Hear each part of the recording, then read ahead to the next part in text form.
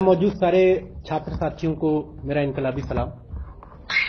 जैसा कि साथी ने बताया कि जाति उन्मूलन के पूरे हिस्टोरिकल प्रोजेक्ट पर एक चर्चा करने और साथ ही इस कॉन्टेक्स्ट में अंबेडकर की पूरी विरासत को, उनकी पॉलिटिकल लिगेसी को समझने और उसके साथ मतलब कहा जाए कि एक क्रिटिकल रिलेशन बनाने का, इससे ज़्यादा मुफीद वक्त और कोई नहीं हो सकता था।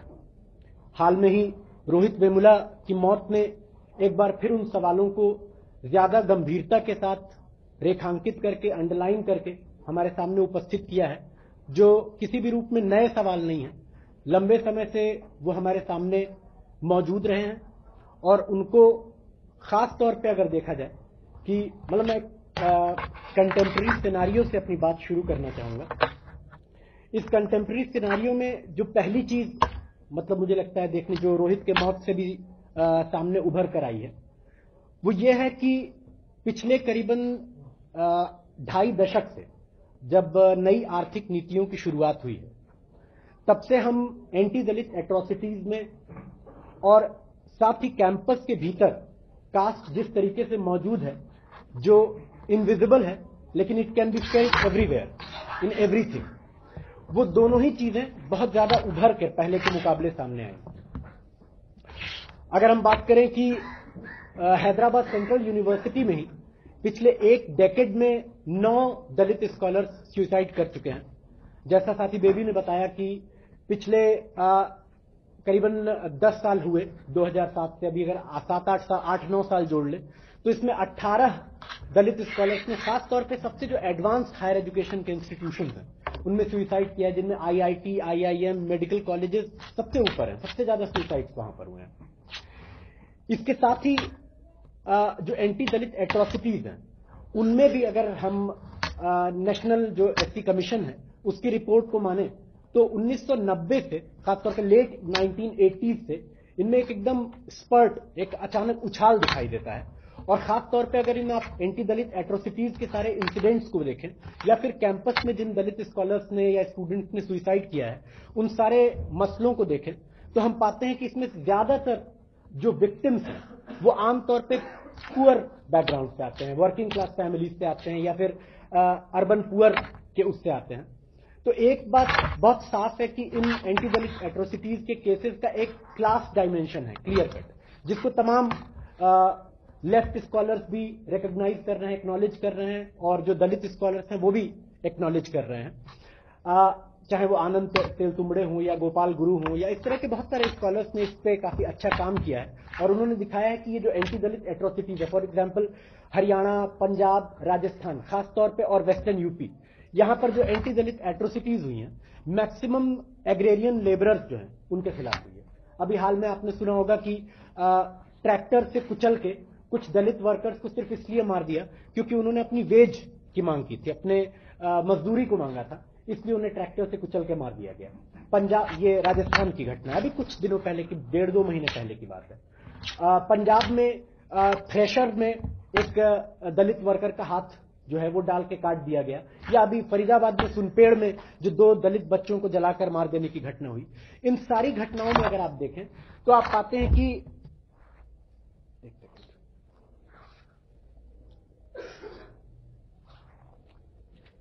वर्किंग क्लास दलित अक्सर निशाने पर रहे विक्टिम्स रहे और जो वर्किंग क्लास दलित के साथ जो एट्रोसिटीज की हैं अभी 25-30 साल में, उसमें जो परपेट्रेटर्स हैं वायलेंस के, वो आमतौर पे ब्राह्मण या ठाकुर जातियों से नहीं आते हैं। इनमें से ज़्यादातर जो upward mobile rich peasant caste हैं, जो मिडिल कास्ट हैं बेसिकली और अगर हिंदू रिचुअलिस्टिक स्ट्रक्चर में उनका लोकेशन देखा जाए तो वो शूद्र है। जिसको मिलाकर दलित के साथ बहुजन समाज की कल्पना की गई थी, अंबेडकर ने की थी। अपने समय में, बाद में अलग अलग लोगों ने दलित पॉलिटिक्स में इस बहुजन समाज के का जो कंस्ट्रक्ट है, उसका अपने तरीके से पॉलिटिकल यूज़ किया है।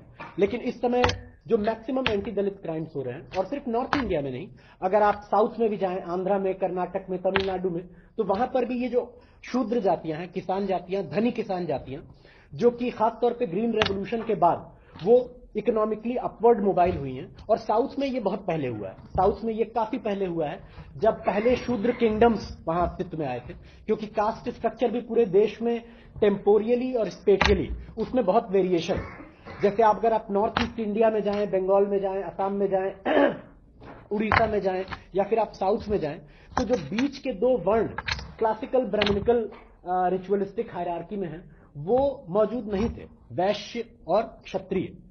और ब्राह्मण भी वहाँ बाद में इंपोर्ट किए गए।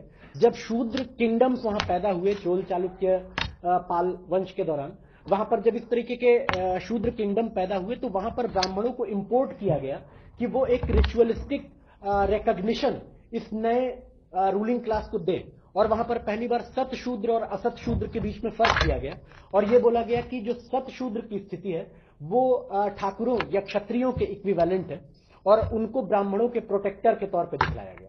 यही काम शिवाजी ने भी अपने टाइम में किया था, जब छत्रपति की उपाधि हासिल करने के लिए उन्होंने ब्राह्मण, एक बनारस से ब्राह्मण को एक तरीके से आयातित किया था इंपोर्ट किया था, जिसने बहुत मान मनोवल के बाद पैर के अंगूठे से तिलक करना स्वीकार किया था और फिर पैर के अंगूठे से ही उसने तिलक किया था और शिवाजी, छत्रपति शिवाजी बने थे।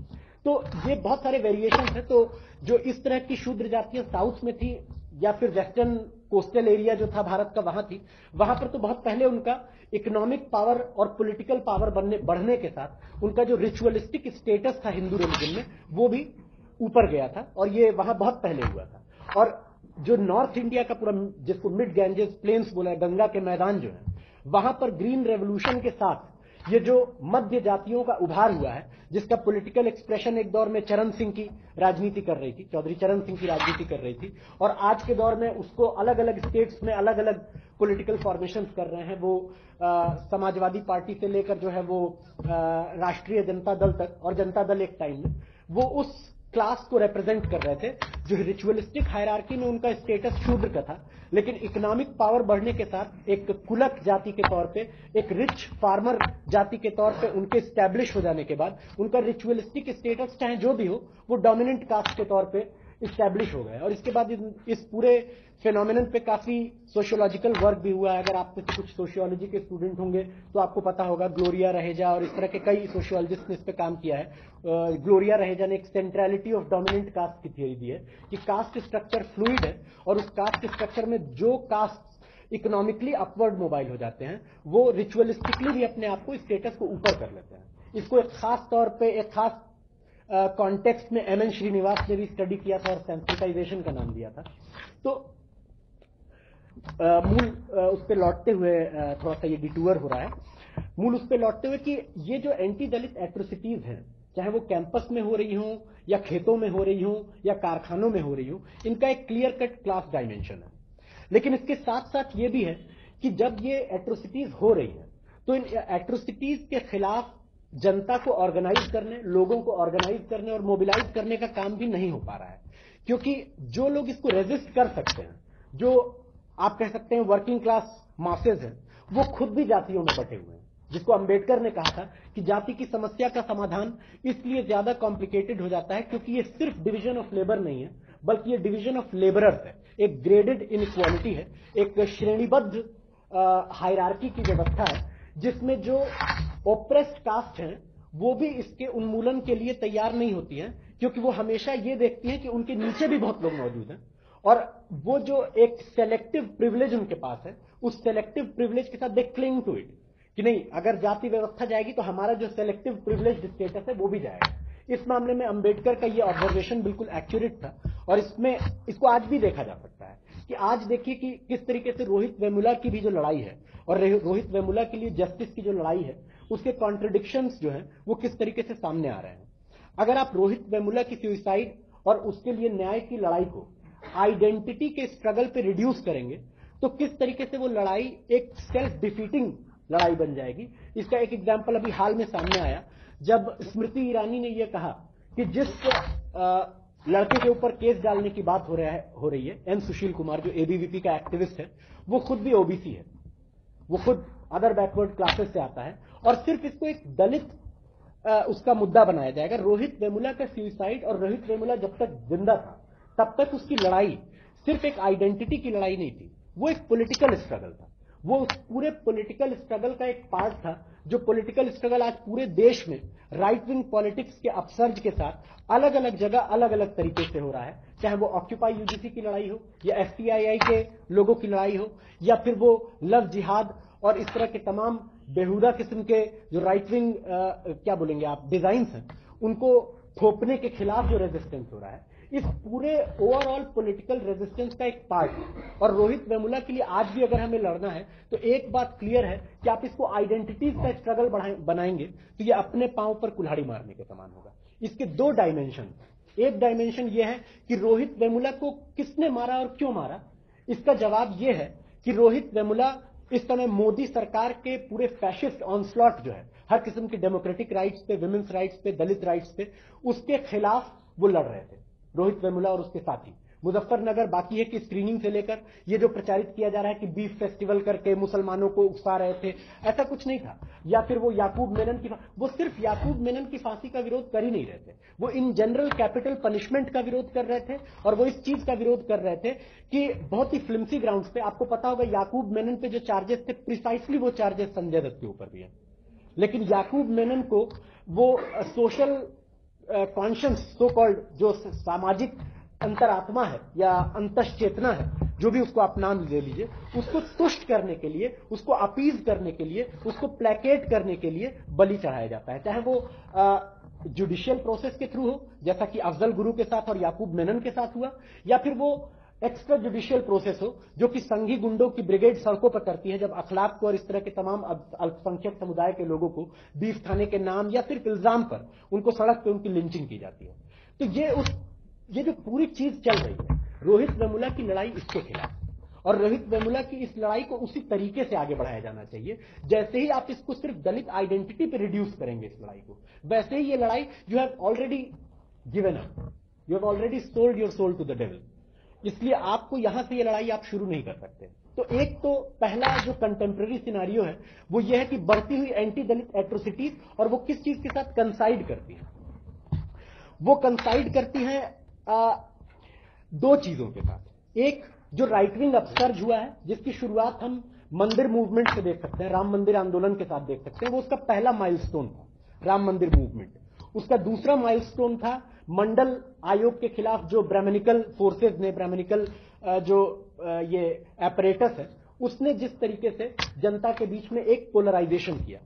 उसका तीसरा स्टेज था 98 में जब वाजपेयी की सरकार पहली बार तेरह दिन, फिर तेरह महीने और फिर पाँच साल का साल के लिए बनी। उसका चौथा बड़ा माइलस्टोन आया गुजरात का जो जेनोसाइड था, उस जेनोसाइड के साथ। और उसका पांचवा जो बड़ा माइलस्टोन है, वो मोदी का सत्ता तक पहुँचना है। और ये पाँच बड़े स्टेजेस ब्रॉडली अगर देखें, अगर पीछे अब मुड़कर रेट्रोस्पेक्टिव में देखते हैं तो ये पाँच मेजर स्टेजेस जो right wing Hindu communal fascist upsurge हुआ है। और हिंदू से मेरा मतलब यहाँ हिंदू रिलीजन से नहीं है। मैं, ये जो हिंदुत्व की फिलॉसफी है जिसका फैशिस्ट तरीके से, जिसको पेश किया जा रहा है, मैं उसकी बात कर रहा हूँ। ये पाँच स्टेजेस में, ये एक तरीके से आप कह सकते हैं it's a process of becoming of Indian fascism इस प्रोसेस में Indian fascism it came into its own ये अपने असली रूप में कल्बिनेट करके अब हमारे सामने आया। इन दोनों, पहली चीज़ ये है, जिसके साथ ये एंटी दलित एट्रोसिटीज का बढ़ना कंसाइड करता है, जिसके साथ ओवरलैप करता है। और दूसरी बड़ी चीज़ है लेट 1980s में न्यू लिबरल पॉलिसीज़ और ग्लोबलाइजेशन की शुरुआत। आमतौर पे लोग उसको न्यू इकोनॉमिक पॉलिसी के साथ जोड़ के देखते हैं, लेकिन वो पहले ही शुरू हो गया था 1986 में जब Rajiv Gandhi new education policy और इंस्पेक्टर राज और कोटा राज की खत्म करने की बात उन्होंने शुरू की और कंप्यूटर एज की बात शुरू की। उसी वक्त से those were the precursors of new liberal policy in India वहीं से शुरुआत हो गई थी। और उस समय से लेकर जो एक इकोनॉमिक फंडामेंटलिज्म मार्केट फंडामेंटलिज्म पैदा हुआ यहाँ पर और पब्लिक सेक्टर कैपिटलिज्म का खात्मा हुआ, उसके साथ साथ इस इकोनॉमिक फंडामेंटलिज्म के बढ़ने के साथ साथ एक पॉलिटिकल फंडामेंटलिज्म और उसके साथ एक सोशल फंडामेंटलिज्म भी बढ़ा। और ऐसा कोई पहली बार नहीं हुआ है। दुनिया में हर जगह जहाँ पर इकोनॉमिक फंडामेंटलिज्म बढ़ा है जब फ्री मार्केट इकोनॉमी और स्टेट का इंटरवेंशन नहीं होना चाहिए। हालाँकि कैपिटलिस्ट इसको जब हमेशा बोलता है कि स्टेट का इंटरवेंशन नहीं होना चाहिए तो उसका मतलब यह होता है कि लेबर लॉ खत्म करो रेगुलेशन खत्म करो टैक्स रेजीम खत्म करो कैपिटलिस्ट के ऊपर।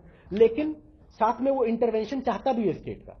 जब बैंक्स दिवालिया होते हैं और बड़े बड़े कॉरपोरेट हाउसेस दिवालिया होते हैं, तब वो हाथ पसारे स्टेट के पास आते हैं स्टिम्युलस पैकेज देने के लिए। इसलिए ये जो कैपिटलिस्ट लॉजिक है, इसने एक, आप कह सकते हैं दृष्टि भ्रम भी पैदा किया है तमाम सोशियोलॉजिस्ट और पॉलिटिकल इकोनॉमिस्ट के बीच कि स्टेट अब विदर अवे कर रहा है नेशन स्टेट अब जा रहा है। ये बहुत बड़ा मिथ है।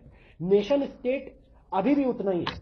पहले वो वेलफेयरिस्ट स्टेट के तौर पे एक हद तक लोगों के पक्ष में इंटरवेंशनिस्ट था, जनता के पक्ष में इंटरवेंशनिस्ट था, और आज वो नेकेड तरीके से, नंगे तरीके से वो कॉरपोरेट हाउसेस के पक्ष में इंटरवेंशनिस्ट हो चुका है। और आज हिंदुस्तान में जो नेचुरल रिसोर्सेज का लूट और प्लंडर चल रहा है, उड़ीसा से लेकर नॉर्थ ईस्ट महाराष्ट्र तक, विदर्भ तक, सारी जगहों पर जिन आदिवासियों को कभी छेड़ने का सोचा नहीं गया था, लेकिन अचानक पता लगा कि वो आदिवासी जो है, वो बॉक्साइट और तमाम नेचुरल रिसोर्सेज के खजाने के ऊपर बैठे हुए हैं। तो अब उनको उजाड़ा जा रहा है, और अगर वो अब अपने हकों के खिलाफ लड़ रहे हैं जल जल जंगल ज़मीन के तो उनको ऑपरेशन ग्रीन हंट और तरह तरह की, इस तरह के ऑपरेसिव दमनकारी स्टेट मुहिमें चला के उनको कुचला जा रहा है।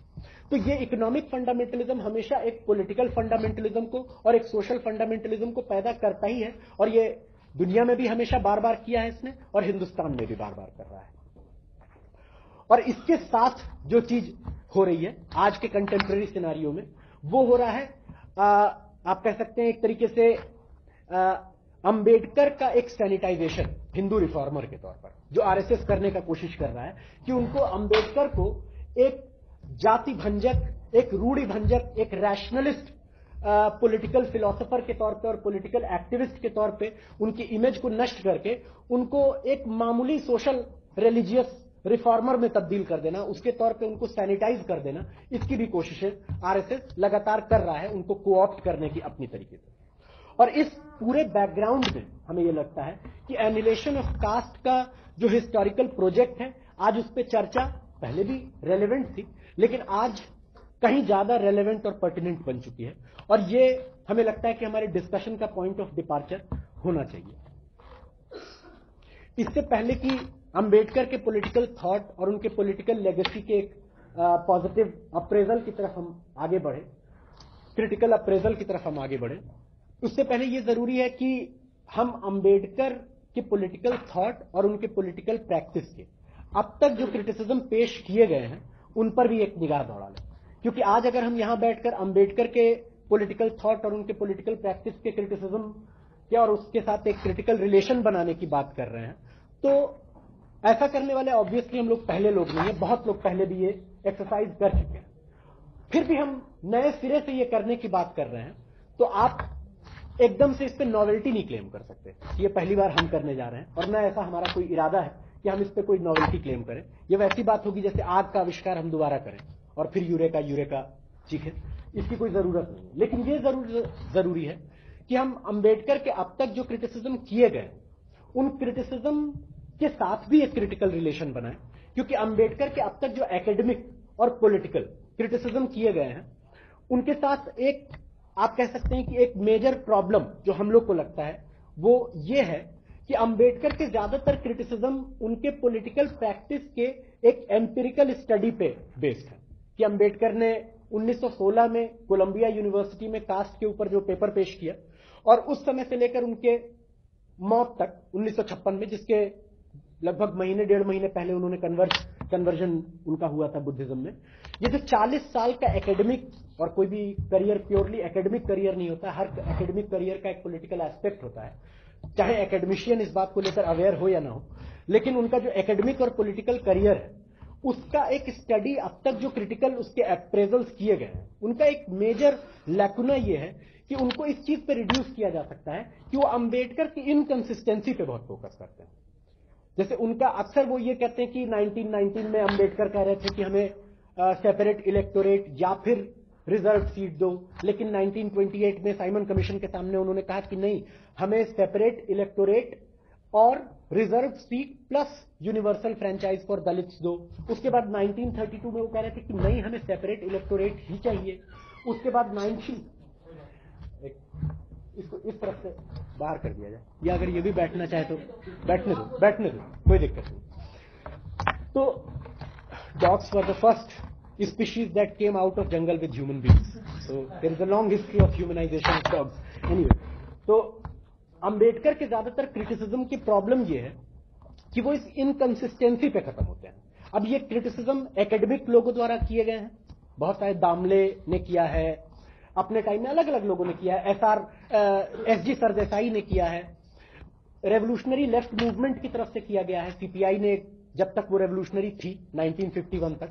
और उसके बाद एमएल मूवमेंट की तरफ़ से भी मार्क्सिस्ट लेनिनिस्ट मूवमेंट जो नक्सलवाड़ी रेबेलियन के बाद अस्तित्व में आया, जिसको आज नक्सल मूवमेंट बोला जाता है। वो नक्सल मूवमेंट की तरफ़ से भी अंबेडकर का क्रिटिसिज्म किया गया है। नुआंसेस में बहुत डिफरेंस है। अगर आप बारीकियों में जाएँगे तो इन सारे क्रिटिसिज्म्स में काफ़ी डिफरेंस है। लेकिन इनमें एक जो कॉमन थीम है, वो ये है कि Ambedkar was not consistent in his political idea and in his political practice लेकिन प्रॉब्लम यह है कि इस क्रिटिसिज्म का जवाब अंबेडकर अपने लाइफ टाइम में ही दे सकते अंबेडकर ने उस समय कहा था और अपने टीचर जॉन ड्यूई को कोट करते हुए कहा था कि consistency is a virtue of an ass गधे की खासियत होती है कंसिस्टेंसी किसी भी थिंकिंग बींग की खासियत कंसिस्टेंसी नहीं होती है। ये गधे की खासियत होती है। इसलिए जिस क्रिटिसिज्म का अंबेडकर पहले ही जवाब दे चुके थे, उसको अलग अलग तथ्यों से पुष्ट करते हुए या फैक्ट से उसको जस्टिफाई करते हुए दोबारा प्रेजेंट रिप्रेजेंट और पैकेज और रीपैकेज करना, करने की एक्सरसाइज का कोई फ़ायदा नहीं। इसलिए हमें लगता है कि अंबेडकर या फिर किसी भी पॉलिटिकल फिलोसोफर पॉलिटिकल एक्टिविस्ट या किसी मूवमेंट के पॉलिटिक्स का एनालिसिस करने का जो पहला यार्डस्टिक होना चाहिए, वो ये होना चाहिए कि आप उसके फिलोसॉफिकल ओरिजिन तक जाए। जो अंबेडकर ने कहा था कि जड़ तक जाओ, विवाद निपटेगा। रेडिकल होने मतलब रेडिकल होने का मतलब यह है कि जड़ तक जाके किसी भी समस्या का समाधान किया जाए। और अगर जड़ तक जाना है अंबेडकर के पॉलिटिकल थॉट का तो हमें अंबेडकर के पॉलिटिकल फिलॉसफी के ओरिजिन्स तक जाना पड़ेगा। वहाँ तक जाए बगैर आप अंबेडकर की पॉलिटिकल प्रैक्टिस का अगर सिर्फ़ कोई एम्पिरिकल स्टडी करें, और उसके आधार पर यह कहें कि अंबेडकर की पॉलिटिकल प्रैक्टिस थॉट इनकंसिस्टेंट था तो हम ये कह सकते हैं कि Ambedkar was so inconsistent that he was consistent his inconsistency is a consistent inconsistency उसमें आप अगर कोई पैटर्न या वो ट्रेस करने की कोशिश करें तो यही उसका पैटर्न है। ये इनकंसिस्टेंसी ही उसका कंसिस्टेंसी है। तो इसलिए उनके फिलोसॉफिकल मूल तक जाना हमें लगता है कि बहुत इंपॉर्टेंट है। अब चूँकि यहाँ पर लेफ़्ट मूवमेंट की भी चर्चा आई है, इसलिए अंबेडकर के पॉलिटिकल फिलॉसफी के ओरिजिन तक जाने से पहले रेवोल्यूशनरी लेफ़्ट मूवमेंट ने किस तरीके से कास्ट और अंबेडकर दोनों के सवाल से किस तरीके से डील किया, इसको भी क्रिटिकली समझना बहुत ज़रूरी है। रेवोल्यूशनरी मूवमेंट 1925 में कम्युनिस्ट मूवमेंट एक तरीके से 1925 में स्टार्ट होता है फॉर्मली हालाँकि 1920 से ही ये प्रोसेस शुरू हो गई थी, लेकिन वो पार्टी फॉर्मेशन तक 1925 में पहुँची, जब कम्युनिस्ट पार्टी ऑफ़ इंडिया बनी। ये कम्युनिस्ट पार्टी ऑफ़ इंडिया जब बनी, उस बनने के दौर से लेकर आठ साल तक कम्युनिस्ट पार्टी बिना किसी रेवोल्यूशन के प्रोग्राम के हिंदुस्तान में काम कर रही थी। और एक उसका मेजर वीकनेस था जो भगत सिंह ने भी पॉइंट आउट किया था और बाद में अलग अलग रेवोल्यूशनरी थिंकर्स ने पॉइंट आउट किया कि उसका वीकेस्ट पॉइंट था उसका इंटेलेक्चुअल साइड और एक कलोनियल फॉर्मेशन में टोटली कॉलोनाइज कंट्री में जहाँ पर एक कलोनियल एजुकेशन सिस्टम स्टैब्लिश्ड है जहाँ पर कंसेंट uh, मैन्युफैक्चर करने का जो पूरा कलोनियल स्टेट एपरेटस है वो बहुत ही वेल इंट्रेंच्ड है मजबूती के साथ uh, जमा हुआ है। वहाँ पर जो कम्युनिस्ट मूवमेंट पैदा हुआ, जो नेशनलिस्ट मूवमेंट पैदा हुआ इवन जो एंटी कास्ट मूवमेंट पैदा हुआ, उसका ओरिजिनल थिंकिंग की इन सब में ही कमी थी। और रेवोल्यूशनरी कम्युनिस्ट मूवमेंट में भी एक कमी थी। बजाय इसके कि मार्क्सिज्म की जो फिलॉसफी है मार्क्सिज्म की फिलॉसफी के जनरल अप्रोच और मेथड को लेकर पर्टिकुलर इंडियन सिचुएशन को एनालाइज करें क्रिटिकली ज़्यादातर इंडियन कम्युनिस्ट ने अपने देश में क्या करना है, इसका प्रोग्राम भी बोरो किया बाहर। Major influences British communist party थी। इसका कारण यह भी था कि ब्रिटिश कम्युनिस्ट पार्टी ने ही शुरू में वर्कर्स को ऑर्गेनाइज करने का एक तरीके से काम हिंदुस्तान में शुरू किया। स्प्रैट और ब्रैडली नाम के दो एक्टिविस्ट को मुंबई भेजा गया बॉम्बे उस समय। बॉम्बे भेजा गया कि वो वहाँ ट्रेड यूनियन मूवमेंट को ऑर्गेनाइज करें। तो इंडियन कम्युनिस्ट पार्टी का शुरू से ही एक डिपेंडेंस ब्रिटिश कम्युनिस्ट पार्टी पे तो क्लियर कट था। रजनी पामदत्त उसमें थे क्लोज कांटेक्ट में रहते थे जो शुरुआती फाउंडिंग मेंबर्स थे सीपीआई के ब्रिटिश कम्युनिस्ट पार्टी से। दूसरा मेजर इंफ्लुएंस था जर्मन पार्टी का और बोल्शेविक पार्टी का रशियन पार्टी का और एक दौर के बाद चाइनीज़ पार्टी का थर्टीज से। और ज़्यादातर कम्युनिस्ट पार्टी ने अपने देश की सिचुएशन हिंदुस्तान की सिचुएशन का कोई ओरिजिनल क्रिएटिव स्टडी करने के बजाय अपने प्रोग्राम्स को वहाँ से बोरो किया। और यही कारण था कि आठ साल तक बिना किसी प्रोग्राम और बिना किसी सेंट्रल कमेटी के, अपने बिना किसी लीडिंग बॉडी के 1933 तक कम्युनिस्ट पार्टी काम करती रही। 1933 में एक लीडिंग बॉडी बनी, लेकिन कोई प्रोग्राम फिर भी नहीं। प्रोग्राम का कोई पॉलिसी स्टेटमेंट तक कम्युनिस्ट पार्टी ने नहीं अपनाया। तो इन और वो प्रोग्राम का पॉलिसी स्टेटमेंट अपनाया जब 1951 में, तब तक सीपीआई एक पार्लियामेंट्री लेफ़्ट पार्टी बन चुकी थी। तेलंगाना का पेजेंट रेबेलियन कुचला जा चुका था। सीपीआई एक तरीके से नेहरू के सामने सरेंडर कर चुकी थी। डांगे का धड़ा और पीसी जोशी का और राजेश्वर राव का जो समझौता परस धड़ा था, वो सीपीआई में हावी हो चुका था और उन्होंने एक तरीके से नेहरू का कांग्रेस की पूंछ में कंघी करने की भूमिका जो है, वो स्वीकार कर ली थी। और एक ऐसे समय में उन्होंने रेवोल्यूशन का एक प्रोग्राम अपनाया, रेवोल्यूशन के एक प्रोग्राम रिलेटेड स्टेटमेंट को अपनाया 51 में, लेकिन जब क्रांति करनी ही नहीं थी तो क्रांति का प्रोग्राम आप अपना भी लेंगे तो उसको कोल्ड स्टोरेज में रखेंगे, इससे ज़्यादा तो आप कुछ करेंगे नहीं। तो सीपीआई जब रेवोल्यूशन के रास्ते से विपथगमन कर चुकी थी, डेविए डिपार्ट कर चुकी थी, उस समय उसने एक प्रोग्राम के स्टेटमेंट को अपनाया। तो इंडियन कम्युनिस्ट मूवमेंट जो है, वो इंडियन सिचुएशन के पिक्यूलियरिटीज का पर्टिकुलरिटीज का, यहाँ के कॉन्ट्रडिक्शन की स्पेसिफिसिटी का, उसकी विशिष्टता का, इसने कभी कोई क्रिएटिव अध्ययन किया ही नहीं। और इंडियन सिचुएशन को ही टोटैलिटी में समझ पाने में वो नाकाम रही। इसका यह कतई मतलब नहीं है कि इंडियन कम्युनिस्ट मूवमेंट ने कुछ किया नहीं। एम्पिरिकली वो वर्कर्स को ऑर्गेनाइज कर रहे थे ट्रेड यूनियंस को ऑर्गेनाइज कर रहे थे, वो किसान सभा का एक्सपेरिमेंट मिड 1920 से कर रहे थे और किसान सभा में उन्होंने दलित क्वेश्चन को बहुत प्रोमिनेंटली उठाया था। उन्होंने टाइटिल हटाओ आंदोलन आंध्र किसान सभा में चला था, जिसका असर आज तक है क्योंकि कुछ इलाकों में आज तक वो टाइटिल लगाने की परंपरा ही नहीं है। ये कम्युनिस्ट मूवमेंट की ही देन थी वहाँ पर रेवोल्यूशनरी कम्युनिस्ट मूवमेंट की। लेकिन उनका कास्ट का क्वेश्चन हो या जेंडर का सवाल हो, या वर्कर्स के बीच में जो कास्ट सेग्रीगेशन काम करता है, उसको डील करने का सवाल हो, इन सबसे वो एम्पेरिकली डील करते थे। और बहादुरी के साथ डील करते थे, लड़ते थे। तेलंगाना के रेबेलियन में उन्होंने हज़ारों गाँवों को, तीन हज़ार गाँवों को मुक्त कराया। हज़ारों मील का क्षेत्र जो है, वहाँ पे उन्होंने डेढ़ साल तक पीपल्स गवर्नमेंट चलाई। और वहाँ पीपल्स गवर्नमेंट में ये ज़्यादातर कौन लोग थे? लैंडलेस लेबर था। और इस लैंडलेस लेबर और जो काश्तकार किसान टेनेंट प्रेजेंट थे, इसमें 98 परसेंट जो है वो दलित और शूद्र किसान जातियाँ थी, जिन्होंने ये एक्सपेरिमेंट कम्युनिस्ट पार्टी के नेतृत्व में चलाया। तो दो चीज़ें हैं। कम्युनिस्ट पार्टी ने एम्पेरिकली कास्ट के क्वेश्चन को उठाया। 1926 में एटक जो कि उस समय अभी भी है एटक सीपीआई की ट्रेड यूनियन थी all India trade union congress उसमें कांग्रेस के लोग भी सक्रिय थे, लेकिन मेनली उसमें हेजेमनिक पावर सीपीआई था।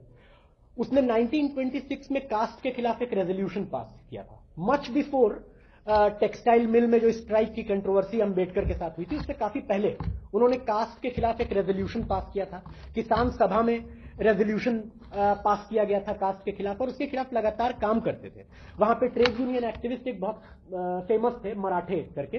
वो उच्च जाति से आते थे महाराष्ट्र में, और वो दलित बस्ती में ही रहते थे, वहीं जाते थे, उन्हीं के साथ खाते थे, वो सारे कमेंसल प्रेजुडिस के साथ बैठ के खाना नहीं है अनटचेबिलिटी इन सबको तोड़ के कम्युनिस्ट एक्टिविस्ट ने और काफ़ी अच्छे घरों से आने वाले, सवर्ण घरों से आने वाले कम्युनिस्ट एक्टिविस्ट ने ये जो टाबू था कास्ट का, इसको तोड़ा और काम किया। लेकिन ये सब कुछ एम्पेरिकल था। एम्पेरिकली कास्ट जहाँ सामने आ रही थी, उससे वो लड़ रहे थे। जिसको आप कह सकते हैं एक तरीके से सिम्टोमेटिक रिएक्शन था। सिम्टम जो सामने आ रहा था, उस सिम्टम पे कम्युनिस्ट मूवमेंट रिएक्ट कर रहा था रेडिकल तरीके से रिएक्ट कर रहा था रेवोल्यूशनरी तरीके से रिएक्ट कर रहा था, लेकिन फिर भी ये सिम्टोमेटिक था रिएक्शन थियोरिटिकली और हिस्टोरिकली कास्ट को समझने का जो काम था, वो कम्युनिस्ट मूवमेंट करने में असफल रहा, न सिर्फ़ उस समय नहीं कर पाया, बाद तक नहीं कर पाया। नक्सल मूवमेंट के पैदा होने के बाद तक कास्ट क्वेश्चन को हिस्टोरिकली उसके मूवमेंट में, उसकी डायनेमिज्म में, उसको समझने का काम, वो करने में communist movement it fell short of it and terribly so तो ये दो चीज़ें हैं, ये दोनों चीज़ें समझनी ज़रूरी है, इसलिए जो आज ये कहता है कि कम्युनिस्टों ने दलितों के लिए क्या किया, ये इतिहास और फैक्ट्स के साथ बदतमीजी है कि कम्युनिस्टों ने रेवोल्यूशनरी कम्युनिस्टों ने कुछ नहीं किया दलितों के लिए, ऐसी बात नहीं है। इस समय भी अगर आप याद करें बथानी टोला का जो मैसेकर हुआ जिसके दोषियों को अभी कोर्ट ने छोड़ दिया कुछ समय पहले या लक्ष्मणपुर बाथे का जो मैसेकर हुआ और बिहार में लंबे समय तक जो एक आर्म्ड वॉर चलता रहा रेवोल्यूशनरी कम्युनिस्ट फोर्सेस के साथ के, के बीच में और ये जो रणवीर सेना थी उसके बीच में जो कि भुइहारों और ठाकुरों और ब्राह्मणों का एक फ्यूडल रिएक्शन एक आप कह सकते फ्यूडल नहीं लैंडलॉर्ड रिएक्शन आप कह सकते हैं एक तरीके से उसके खिलाफ जो लड़ाई चलती रही वो कम्युनिस्टों के ही नेतृत्व में चली। और अगर प्योर स्टैटिस्टिक और फैक्चुअल डेटा की बात करें तो जितने कम्युनिस्टों ने लाल झंडे के नीचे कुर्बानी दी है उतने आ, जितने दलितों ने लाल झंडे के नीचे लड़ते हुए कुर्बानी दी है उतने दलितों ने कभी नीले झंडे के नीचे लड़ते हुए नहीं दी है। ये फैक्ट है।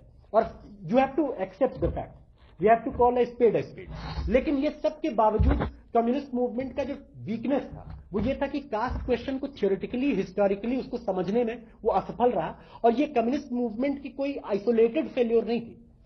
ये जो कम्युनिस्ट पार्टी 26 26 साल तक काम करते हुए हिंदुस्तान में रेवोल्यूशन का पाथ क्या होगा कैसे होगा कौन फ्रंट फोर्सेस हैं कौन एनिमी फोर्सेस हैं फ्रंट फोर्सेस का आ, मोर्चा कैसे बनेगा किसके खिलाफ क्रांति करनी है कैसी क्रांति करनी है सोशलिस्ट रेवोल्यूशन करना है या डेमोक्रेटिक रेवोल्यूशन करना है ये तक तय करने में एक्यूरेटली और आर्टिकुलेट तरीके से नाकामयाब रही। उस कम्युनिस्ट पार्टी से यह उम्मीद करना कि वो कास्ट जेंडर एनवायरमेंट इन सारे सवालों पर एक बैलेंस्ड स्टैंड ले पाता। ये हमें लगता है कि आकाश कुसुम की अभिलाषा करने के समान है। ये बहुत, ये मांग, ये डिमांड ही बहुत गलत है। एक ऐसे कम्युनिस्ट मूवमेंट से जो इंटेलेक्चुअली इतना वीक रहा था historically right from its inception अपनी शुरुआत से जो इतना वीक रहा था। इसलिए कम्युनिस्ट मूवमेंट का जो बड़ा लैकुना था, वो उसके कास्ट को न समझने की उसकी फेल्योर को कम्युनिस्ट मूवमेंट के ओवरऑल पॉलिटिकल फेल्योर के एक पार्ट के तौर पे देखा जाना चाहिए वरना आप इस नतीजे पे पहुँचेंगे कि रेवोल्यूशनरी कम्युनिस्ट मूवमेंट जो है वो ब्राह्मणिकल प्रेजुडिसेस का शिकार था। और वो ब्राह्मण्स उसमें लीडरशिप में थे क्योंकि अक्सर ये सवाल पूछा जाता है कम्युनिस्ट पार्टी में आ, के सेंट्रल कमेटी में दलित कौन था? इसके जवाब में ये पूछा जा सकता है कि इंडिपेंडेंट लेबर पार्टी के लीडिंग कोर में मजदूर कौन था? नहीं था कोई। तो ये सवाल बेकार है।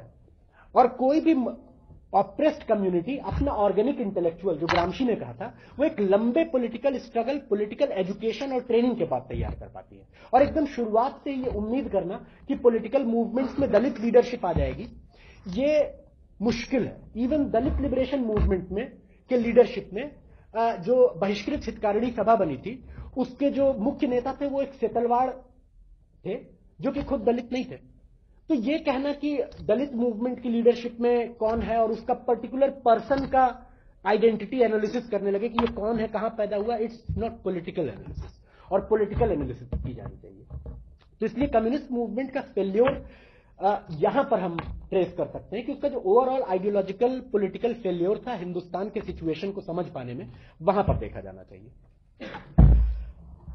अब इस आ, लंबे लंबे डिटूअर्स के बाद मूल चर्चा पे आते हैं कि अंबेडकर का जो पॉलिटिकल थॉट और पॉलिटिकल प्रैक्टिस था, उसका पॉलिटिकल इवैल्यूएशन कहाँ से शुरू किया जाए?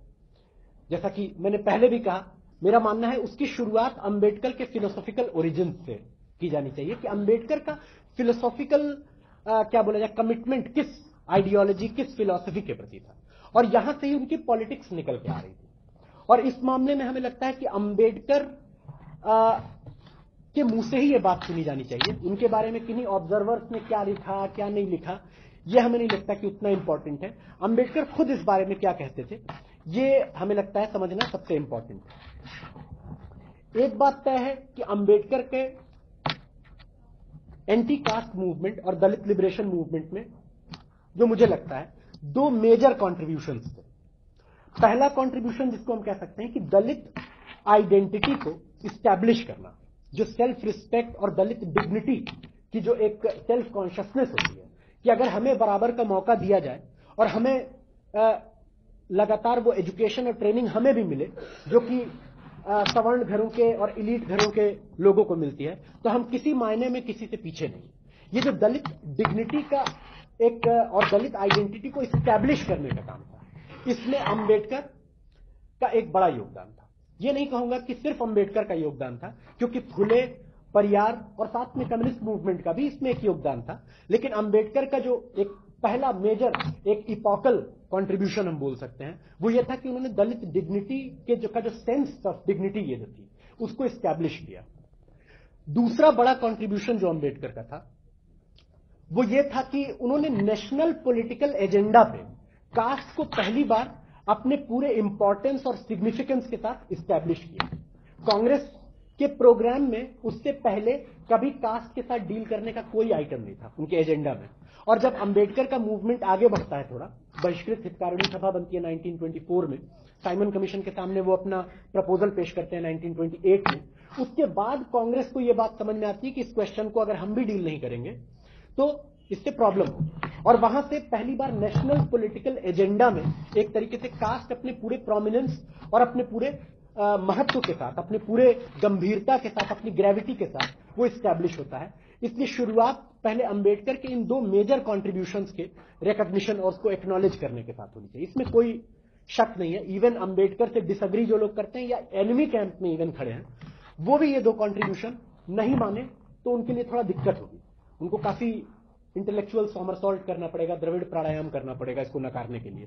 इसलिए ये क्लियर कट कॉन्ट्रीब्यूशन लेकिन अंबेडकर का जो फिलोसॉफिकल आप कह सकते हैं कि एक तरीके से ओरिजिन है उसके बारे में अंबेडकर खुद बहुत ही फ्रैंक थे, और इसको कभी अंबेडकर ने छिपाया नहीं।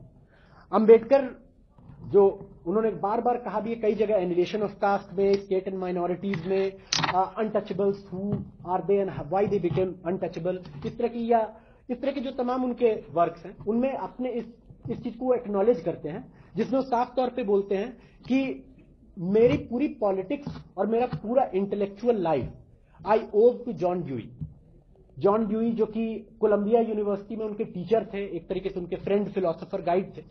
और अमेरिकन फिलोसफी में प्रैग्मेटिस्ट फिलोसफी का एक मेजर आप कह सकते हैं हाई प्रीस्ट उनको बोल सकते हैं, जो प्रैग्मेटिस्ट फिलोसफी के एक मेजर फिगर थे। और अंबेडकर इस मामले में ऑनेस्टली उन्होंने ड्यूइयन प्रैग्मेटिज्म जो था अपने पॉलिटिकल प्रैक्टिस में, अपने फिलोसॉफिकल व्यूज़ में, अपने सोशल प्रोग्राम में उससे कभी ज़्यादा डेविएट नहीं किया। इसका यह कतई मतलब नहीं है कि अंबेडकर ने जो कुछ कहा उसको ड्यूवियन प्रैग्मेटिज्म पे रिड्यूस किया जा सकता है। लेकिन इतना तय है कि अंबेडकर ने जो कुछ कहा, उसमें उनके लिए एक गाइडिंग लाइट का काम, वो ड्यूई का पॉलिटिकल थॉट कर रहा था। एक, आप कह सकते हैं आइडियोलॉजिकल कंपास जैसे होता है ना, जो, समुद्र में जहाज़ उतरता है तो कंपास का जो रोल होता है उस जहाज़ के लिए, उस जहाज़, और जहाजियों के लिए, वही रोल ड्यूरियन प्रैग्मेटिज्म का अंबेडकर के लिए था। अब, हमारी मतलब मुझे लगता है कि थोड़ा टाइम इस पे खर्च किया जाना चाहिए, ये समझने के लिए कि ड्यूरियन प्रैग्मेटिज्म या इन जनरल प्रैग्मेटिज्म था क्या, और वो किस हिस्टोरिकल कॉन्टेक्स्ट में अमेरिका में पैदा हुआ, और वो किस तरीके से इन्फ्लुएंशियल वहाँ के पॉलिटिक्स में हुआ और वो किस तरीके से अंबेडकर ने उससे सीखा, उससे लिया और उसको अपनी गाइडिंग फिलोसफी के तौर पे स्वीकार किया। अमेरिकन आप कह सकते हैं कि जो फिलोसफी थी, लेकिन उससे पहले मुझे लगता है कि इस चीज़ को भी थोड़ा सा क्लैरिफाई करना ज़रूरी है कि कोई भी इंडिविजुअल या किसी, कोई भी मूवमेंट उसकी फिलोसफी वो एक, वो आसमान से नहीं टपक पड़ती है। वो अपने पीछे मौजूद फिलोसॉफिकल ट्रेडिशन के ऊपर बिल्ड करती है।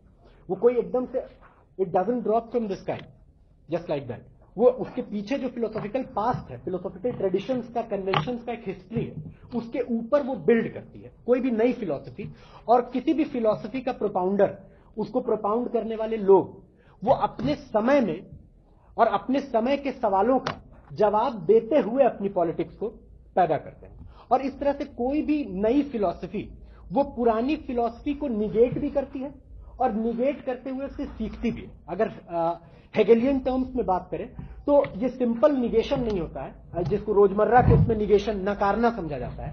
निगेशन से हेगेल का मतलब था सबलेशन सबलेट करते कोई भी चीज़ और कोई भी इंसान हिस्ट्री कोई भी एंटिटी वो अपने आप को निगेट करते हुए आगे बढ़ती है। और सबलेशन का मतलब होता है कि किसी भी नए स्टेज में चेंज का भी एलिमेंट होता है और कॉन्टिन्यूटी का भी एलिमेंट होता है। और कॉन्टिन्यूटी का जो एलिमेंट था, उसको भी समझना ज़रूरी है, अंबेडकर प्रैग्मेटिस्ट फिलोसफी के पैदा होने में। और जो चेंज का एलिमेंट है, उसको भी समझना ज़रूरी है। प्रैग्मेटिस्ट फिलोसफी आप कह सकते हैं कि अमेरिकन कॉन्टिनेंटल फिलोसफी का अगर ब्रॉडली उसको कुछ स्टेजेस में डिवाइड किया जाए तो अमेरिकन कॉन्टिनेंटल फिलोसफी को तीन फेजेस या स्टेजेस में डिवाइड किया जा सकता है।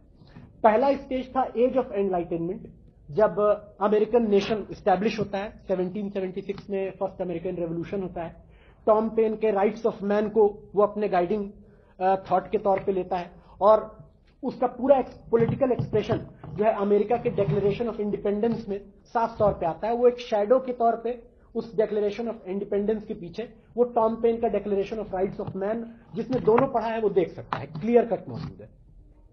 और ये पहला मेजर स्टेज था। जो अमेरिकन फिलोसफी के डेवलपमेंट में हम अपने सामने देखते हैं। अब इसका जो हिस्टोरिकल कंटेक्स्ट है, उसकी भी पिक्यूलियरिटी को समझने की ज़रूरत है। अमेरिकन नेशन एक कैपिटलिस्ट नेशन के तौर पर ही स्टैब्लिश हुआ और उसका कोई लंबा फ्यूडल पास्ट नहीं था।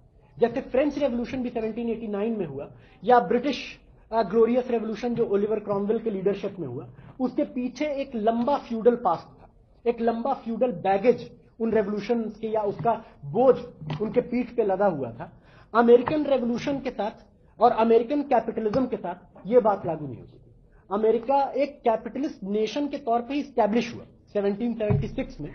और जब वो स्टैब्लिश हुआ तो वहाँ पर जिसको लोग ने कहा कि उस अमेरिकन कैपिटलिज्म को किस कैरेक्टरिस्टिक फीचर से पहचाना जा सकता है वो है फुलनेस ऑफ़ कैपिटलिज्म इसका जो फुलनेस है और आ, कहा जाए कि जो आइडियल्स फ्रेंच रेवोल्यूशन को गाइड कर रहे थे या एनलाइटेनमेंट फिलोसफर्स जिन आइडियल्स को पेश कर रहे थे राइट्स ऑफ़ मैन के ज़रिए, या फिर उस समय जिसकी प्रोसेस काफ़ी पहले से शुरू हो गई थी, लेकिन जिसका पिनेकल जो है, वो एज ऑफ़ एनलाइटेनमेंट कांट का एज ऑफ़ रीजन लिखना और टॉम पेन का राइट्स ऑफ़ मैन लिखना, या दीदरो लिटरेचर के फ़ील्ड में जो कर रहे थे इंसाइक्लोपीडिस्ट जिनको बोला गया, जिन्होंने पहली बार रीजन रैशनैलिटी मॉडर्निटी की बात की, जिन्होंने पहली बार फ्यूडल इडलनेस फ्यूडल अरिस्टोक्रेसी और फ्यूडल लॉर्ड्स का जो पैरासिटिज्म था, उसको क्रिटिक किया।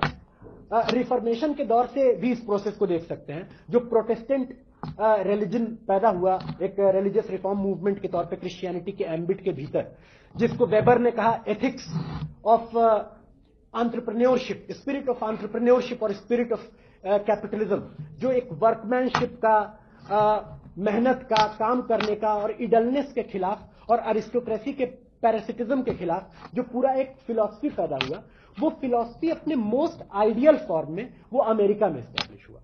अमेरिका में ये दौर था एज ऑफ़ एनलाइटेनमेंट का, जब अमेरिकन कैपिटलिस्ट नेशन स्टैब्लिश होता है और एक ऐसे हिस्टोरिकल और जियोग्राफिकल और सोशल कॉन्टेक्स्ट में अमेरिकन नेशन पैदा होता है, जिसके इनवर्ड एक्सपेंशन और आउटवर्ड एक्सपेंशन की अनलिमिटेड पोटेंशियलिटी थी।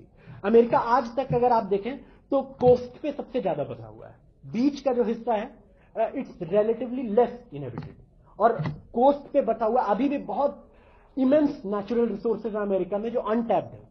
और अभी अगर मिडिल ईस्ट से ऑयल आना बंद हो जाए अमेरिका को तो अमेरिका के अपने पेट्रोलियम रिज़र्व इतने हैं, जितने से अमेरिका के प्रेजेंट लेवल ऑफ़ कंजम्पशन पे वो 40 साल तक चल सकता है, आराम से। बिना किसी मिडिल ईस्ट से इंपोर्ट के ऑयल और नेचुरल गैस के। तो उसके अपने नेचुरल रिसोर्सेज आप सोचिए उस समय कितने होंगे। जिस समय अभी कैपिटलिज्म कॉन्कर कर रहा था रेड इंडियंस को मारा जा रहा था, जो ओरिजिनल इनहेबिटेंट्स थे वहाँ के इंडिजिनस कम्युनिटीज थी, उनके पूरे जेनोसाइड्स चल रहे थे। गोल्ड रश का दौर था, जिस समय मतलब आप कैलिफोर्नियन गोल्ड रश जिन्होंने Modern Times sorry Gold Rush film देखी है चार्ली चैपलिन की वो उसको रिलेट कर सकते हैं कि क्या पूरा दौर था। तो ये इनवर्ड और आउटवर्ड एक्सपेंशन ने, ये जो पहला दौर था अमेरिकन फिलोसफी के डेवलपमेंट का, जिसको एज ऑफ़ एनलाइटेनमेंट का दौर कह सकते हैं, उसमें, इसने पूरे अमेरिकन पॉपुलेशन में एक खास किस्म के, आप कह सकते हैं खास किस्म के सोशल साइके को किया। जो सोशल साइके उस समय ही अमेरिका के तमाम फिलोसफर पॉलिटिकल थिंकर्स और इवन वहाँ के इडियम्स जो वहाँ के मुहावरे थे, वहाँ उनके, वहाँ की सेइंग्स थी उस तक में एक्सप्रेस हो रहा था। जैसे कुछ बहुत ही चलती हुई आ, मतलब अमेरिकन सेइंग्स हैं जिनका खूब इस्तेमाल होता है। आज भी अमेरिका में अमेरिकन फिल्म्स में हॉलीवुड फिल्म्स में आप देख सकते हैं। जैसे कि आई ट्राई एनीथिंग वंस मैं किसी भी चीज़ को एक बार ट्राई करूँगा या वॉट इट्स गुड फॉर इसका क्या फ़ायदा है? है ना? या फिर pursuit of happiness pursuit of wealth एक खास किस्म की इंडिविजुअलिस्ट फिलोसफी और एक खास किस्म का फ्री चॉइस का फिलोसफी जो फ्री चॉइस और इंडिविजुअलिज्म की फिलोसफी फ्यूडल अरिस्टोक्रेसी ऑटोक्रेसी और प्लूटोक्रेसी के खिलाफ उसके रिएक्शन में पैदा हुई थी। और उस दौर में अमेरिकन नेशन के डेवलपमेंट में उसका एक प्रोग्रेसिव रोल था। इसमें कोई शक की बात नहीं दूसरा मेजर स्टेज जो अमेरिकन फिलोसफी में आता है, जिसको आप बोल सकते हैं ट्रांसेंडेंटलिज्म ये ट्रांसेंडेंटलिज्म का स्टेज आता है 1860s में, जबकि सिविल वॉर चल रहा था सेकेंड अमेरिकन रेवोल्यूशन भी उसको बोला जाता है। सिविल वॉर में इमर्सन उस समय उसके मेन रिप्रेजेंटेटिव थे। इमर्सन जो ट्रांस जिस ट्रांसेंडेंटलिज्म को प्रीच कर रहे थे, उसकी काफ़ी इंस्पिरेशन वो कांट से लेते थे। कांट की फिलोसफी से। लेकिन उनका मेन सोर्स वही था declaration of rights of man और डेक्लेरेशन ऑफ़ अमेरिकन इंडिपेंडेंस ये दोनों से ही वो सीख रहे थे। इमरसन ने कहा भी था कि I am just a traveller I don't have a baggage of past on my back I just do मैं बस करता हूँ।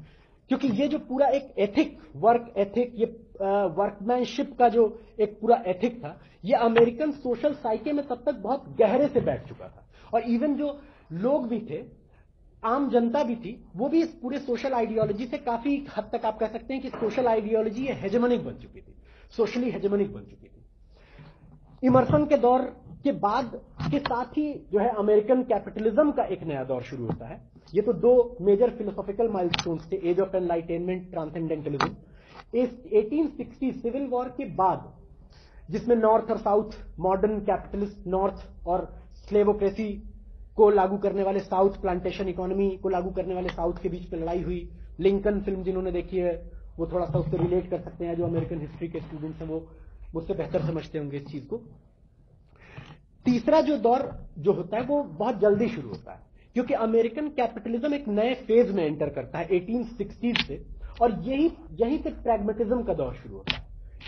आप कह सकते हैं कि लेट 1860s 1870s से, जब अमेरिकन कैपिटलिज्म फ्री कंपटीशन से मोनोपोलाइजेशन के दौर में प्रवेश करता है, और ये मोनोपोलाइजेशन और बिग कैपिटल और कॉरपोरेट कैपिटल के डोमिनेंस के स्टैब्लिश होने की प्रोसेस 1860 से लेकर end of second world war तक मतलब अनहिंडर्ड तरीके से चलती है।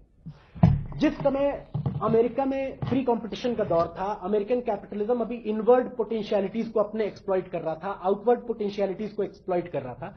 उस समय वहाँ पर जो कैपिटल और लेबर का कॉन्ट्रडिक्शन था, वो बहुत उभर के सामने नहीं आ रहा था, क्योंकि अभी डेवलपमेंट वहाँ कैपिटलिस्ट डेवलपमेंट की पोटेंशियलिटीज अभी पूरी तरीके से एग्जॉस्ट नहीं हुई थी।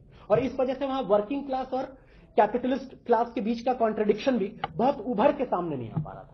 इसी दौर में अमेरिकन कैपिटलिज्म जो है, वो मोनोपोलाइजेशन के दौर में प्रवेश करता है और मोनोपोलाइजेशन के साथ जो है, एक और प्रोसेस शुरू होती है, जिसको आप कह सकते हैं कि डिस्पोजेशन की एक प्रोसेस शुरू होती है। जो स्मॉल ओनर्स थे स्मॉल प्रोपराइटर्स थे पेटी बुर्जुआ जिसको आप बोल सकते हैं मार्क्सिस्ट टर्मिनोलॉजी में। हालाँकि मार्क्सिस्ट टर्मिनोलॉजी उससे पहले से मौजूद है ये टर्मिनोलॉजी लेकिन जो पेटी बुर्जुआ स्मॉल प्रोपराइटर्स का क्लास था, जो छोटे मोटे धंधे करता था, वो उजड़ना शुरू होता है। और उसके डिस्पोजेशन और उसके अपरूटिंग के साथ अमेरिका में एक पूरा मूवमेंट खड़ा होता है। एक पॉपुलिस्ट किस्म का मूवमेंट जो कि वास्तव में वर्कर्स का मूवमेंट नहीं था। उन वर्कर्स का मूवमेंट नहीं था who have nothing to lose ये उस पेटी बुर्जुआजी का मूवमेंट था जिसके सर पे डिस्पोजेशन की तलवार लटकी हुई थी। और हर देश में जब कैपिटलिस्ट डेवलपमेंट अपनी मोनोपोलाइजेशन के स्टेज में पहुँचता है तो ऐसा एक पेटी बुर्जुआ का मूवमेंट शुरू होता है। एक पॉपुलिस्ट किस्म का मूवमेंट जो इट uh, मतलब it is driven by a nostalgia for the past कि पास्ट में हमारे फाउंडिंग फादर्स ने बोला था कि pursuit of happiness equal opportunities for all protestant ethics workman ethic और उस समय पूरे इस तरह के बेंजामिन फ्रैंकलिन जो प्रेसिडेंट थे अमेरिका के, उन्होंने बाकायदा एक किताब लिखी थी रिचर्ड पुअर रिचर्ड एल्मनिक जिस पुअर रिचर्ड एल्मनिक में एनेक्डोट्स थे किससे? वो किससे ज़्यादातर मतलब यही होते थे कि आप, जिसमें फ्यूडल अरिस्टोक्रेसी का मज़ाक उड़ाया जाता था रैक्स टू रिचर्स की कहानी होती थी कि एक वर्ग जो बहुत मेहनत करता था अगर तुम मेहनत करोगे, अपने इंडिविजुअल कैपेसिटी पे भरोसा रखोगे, और तुम फ्री कंपटीशन में उतरोगे और तुम काबिल हो तो तुम ज़रूर एक दिन अमीर बन जाओगे। Pursuit of happiness pursuit of accumulating wealth है ना? इसका जो पूरा था, ये अब सपना टूटने लगा। जैसे बड़े बड़े कॉर्पोरेट हाउसेस बड़ी बड़ी कंपनियाँ फॉर्म होनी शुरू हुई मोनोपोलाइजेशन शुरू हुआ। ये जो सपना था, ये पेटी बुर्जुआ के बर्बादी के साथ टूट रहा। और उसी समय 1880s में इस डिस्पोजेस होती हुई पेटी पेटी बुर्जुआजी का जो एस्पिरेशन थे, जो उसकी क्लास डिमांड थी, उसको रिप्रेजेंट करते हुए एक पार्टी खड़ी हुई, जिसका नाम ही था पॉपुलर पार्टी 1880s में मैरी बियर्ड, चार्ल्स बियर्ड, ये उसके मतलब एक तरीके से मेन लीडर थे।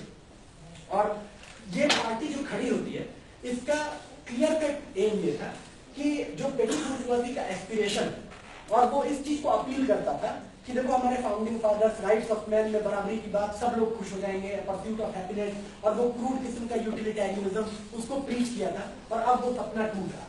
तो वो it was a tirade populist parties politics, it was a tirade against monopoly houses, big companies, big capital.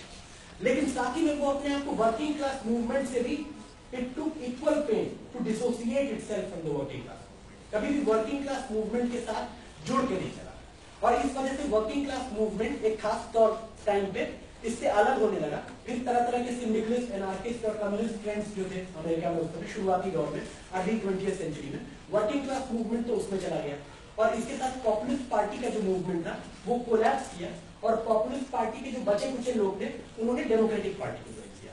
और डेमोक्रेटिक पार्टी में तब से एक पॉपुलिस्ट मूवमेंट वाला पॉपुलिस्ट पार्टी वाला ट्रेंड आज भी है, इस समय भी। और इवन अमेरिकन सोसाइटी में पॉपुलिस्ट पार्टी वाला जो वो पूरा ट्रेंड था, जो पेटी बुर्जुआ एस्पिरेशन को, छोटे मालिकों की चाहत को, उनके एस्पिरेशन को रिप्रेजेंट करता था, वो अमेरिकन सोसाइटी में भी आज तक आप लोगों में से बहुत लोगों ने ऑक्यूपाई वॉल स्ट्रीट मूवमेंट का नाम सुना होगा ओडब्ल्यूएस वो ओडब्ल्यूएस भी कोई वर्कर्स का मूवमेंट नहीं। बेसिकली उसमें वर्कर्स भी गए थे, लेकिन ओडब्ल्यूएस मूवमेंट की जो पॉलिटिक्स थी, वो काफ़ी हद तक उसी के कंटिन्यू उसका, वो, उसका जो आप कह सकते हैं ट्रू प्रीडेसेसर है, वो पॉपुलिस्ट पार्टी वो किसी किस्म का कोई कम्युनिस्ट मूवमेंट या किसी किस्म का कोई रेवोल्यूशनरी मूवमेंट नहीं। क्योंकि वो इनइक्वालिटी के खिलाफ लड़ रहे थे। वो 91 99 परसेंट वर्सेस 1 परसेंट की बात उठा रहे थे। लेकिन वो ज़्यादातर उन लोगों की लड़ाई की बात कर रहे थे जो बर्बाद होने क्राइसिस के दौर में ग्लोबल कैपिटलिस्ट क्राइसिस के दौर में, जो अमेरिकन वर्किंग क्लास या American petty bourgeoisie middle classes जो बर्बाद हो रहे थे, वो बर्बाद होते हुए मिडिल क्लास की एस्पिरेशन को ज़्यादा रिप्रेजेंट कर रहा और हर देश में जब कैपिटलिस्ट डेवलपमेंट अपने मोनोपोली के स्टेज में पहुँचता है तो इस तरह के मूवमेंट्स खड़े होते हैं। हिंदुस्तान में भी हुए विनोबा भावे का भूदान आंदोलन जेपी का संपूर्ण क्रांति का नारा और most recently India against corruption और आम आदमी पार्टी का जो मूवमेंट है। ये इसी किस्म का एक पेटी बुर्जुआ पॉपुलिस्ट मूवमेंट जो मिडिल क्लास के बर्बाद होते हुए या बर्बादी का खतरा झेल रहे हैं। मिडिल क्लास के फियर्स और उनके एस्पिरेशन को रिप्रेजेंट करता है। और चूँकि ये क्लास बीच में लटका हुआ है पेशेंट की तरह, इसलिए इसके नारे भी बहुत कंफ्यूजिंग होते हैं। मोस्टली एम्प्टी स्लोगन भारत माता की जय। इसका क्या मतलब? इट्स एन एम्प्टी स्लोगन या भ्रष्टाचार खत्म करो, भ्रष्टाचार क्या मतलब भ्रष्टाचार तो एक सिम्टम है। कोई प्रॉफिट ड्रिवन सिस्टम होगा तो उसमें भ्रष्टाचार होगा।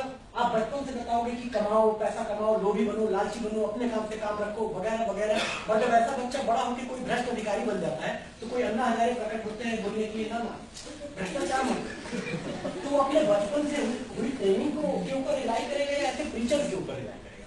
और अक्सर इस तरह के सारे नारे मिडिल क्लासेस को बहुत अपील करते हैं। जो नहीं जानते नारों का मतलब भी क्या है? वॉट इट इवन मीन तो वो उसके पीछे चलने लगते हैं। एक किस्म का romantic upsurge of petty bourgeoisie है। एक किस्म का रोमांटिक रिवेलियन होता है पेटी बुर्जुआजी का, जो इंडिया अगेंस्ट करप्शन या इस तरह के मूवमेंट में सामने आता है। बस एक मैं अलेगरी मतलब ड्रॉ कर रहा था पॉपुलिस्ट पॉलिटिक्स से, और हमेशा क्राइसिस के टाइम में कोई ना कोई पॉपुलिस्ट पॉलिटिक्स पैदा होती है। इधर लेफ़्ट कलर की या राइट की कलर की, जैसे सीरीजा लेफ़्ट की कलर की पॉपुलिस्ट पॉलिटिक्स सीरीजा ग्रीस जो पार्टी जीती है, अलेक्सिस से प्राप्त वो राइट विंग पॉपुलिज्म है, और यहाँ पर जो आप पैदा हुआ, वो सॉरी वो लेफ़्ट विंग पॉपुलिज्म है, और यहाँ जो आपकी पॉलिटिक्स पैदा हुई, वो राइट विंग पॉपुलिज्म है। लेकिन हर क्राइसिस पॉपुलिस्ट पॉलिटिक्स को जन्म देती है। क्योंकि कोई ना कोई ऐसा चाहिए होता है जो सिस्टम को बचाने के लिए बस same with JP is total revolution revolution is always total you don't have to add an adjective और जब आप पार्टी में एडजेक्टिव जोड़ते हैं तो इसके पीछे कोई ना कोई हिडियस डिज़ाइन या आप उसको मतलब ये जो अननेसेसरी ओवर एम्फिसाइजेशन होता है, उसके पीछे कोई ना कोई कॉन्स्पिरेसी होती है, और जेपी के साथ। वो उसकी हालत संपूर्ण क्रांति की वही हुई, जो आज संपूर्ण क्रांति ट्रेंड की हुई। जो पटना से दिल्ली चलती है आप बैठ जाते हैं तो पहुँचने की गारंटी होती है कब इस पॉपुलिस्ट पॉलिटिक्स के साथ प्रैग्मेटिज्म का बहुत गहरा ताल्लुक था। और जो, जो सबसे पहले प्रैग्मेटिस्ट पॉलिटिशियंस थे प्रैग्मेटिस्ट फिलोसफर थे वो इसी पॉपुलिस्ट पार्टी के उससे जुड़े हुए थे। जो प्रैग्मेटिज्म शब्द है वो चार्ल्स पियर्स नाम के एक आइडियलिस्ट प्रैग्मेटिक फिलोसफर ने कॉइन किया था जो कि प्रैग्मा से निकला है। लैटिन वर्ड है प्रैग्मा जिसका मतलब मतलब होता है एक्शन। उसके दूसरे आगे बड़े फिलोसफर आए विलियम जेम्स वो भी आइडियलिस्ट थे, वो थोड़ा सा आगे ले गए प्रैग्मेटिस्ट फिलोसफी को। और जो तीसरे बड़े फिगर थे, वो थे जॉन ड्यूई जॉन ड्यूई के साथ प्रैग्मेटिस्ट फिलोसफी आप कह सकते हैं कि अपने शीर्ष पे, अपने पिनिकल पे पहुँचती है, अपने टोटल उसमें खुल, खिल के मतलब सामने आती है। और जॉन डी की फिलोसफी प्रैग्मेटिज्म की थी क्या अब इस पर थोड़ी बातचीत की जानी चाहिए। जॉन डी की जो फिलोसफी थी, वो इंस्पिरेशन लेती थी बेसिकली उसके मतलब आप कह सकते हैं कि चार मेजर उसके सोर्सेस ट्रेस कर सकते हैं। एक था ब्रिटिश एम्पिरिसिज्म की जो पूरी धारा थी। दूसरा था फ्रेंच एंड कॉन्टिनेंटल जो पॉजिटिविज्म की धारा थी ऑगिस्ट कोम्ट वगैरह। तीसरा था डार्विनिज्म डार्विन का जो एवोल्यूशन की थियोरी थी, वो। और चौथा, एक हद तक आप कह सकते हैं हेगेल हेगेल का जो आइडियलिज्म था और डायलेक्टिकल थॉट था। उससे ये चार मेजर सोर्सेस थे जिससे वो लेते थे। इनसे वो क्या क्या चीज़ें लेते थे। अब इस पे अगर थोड़ा गौर किया जाए तो और चीज़ें स्पष्ट हो जाएँगी।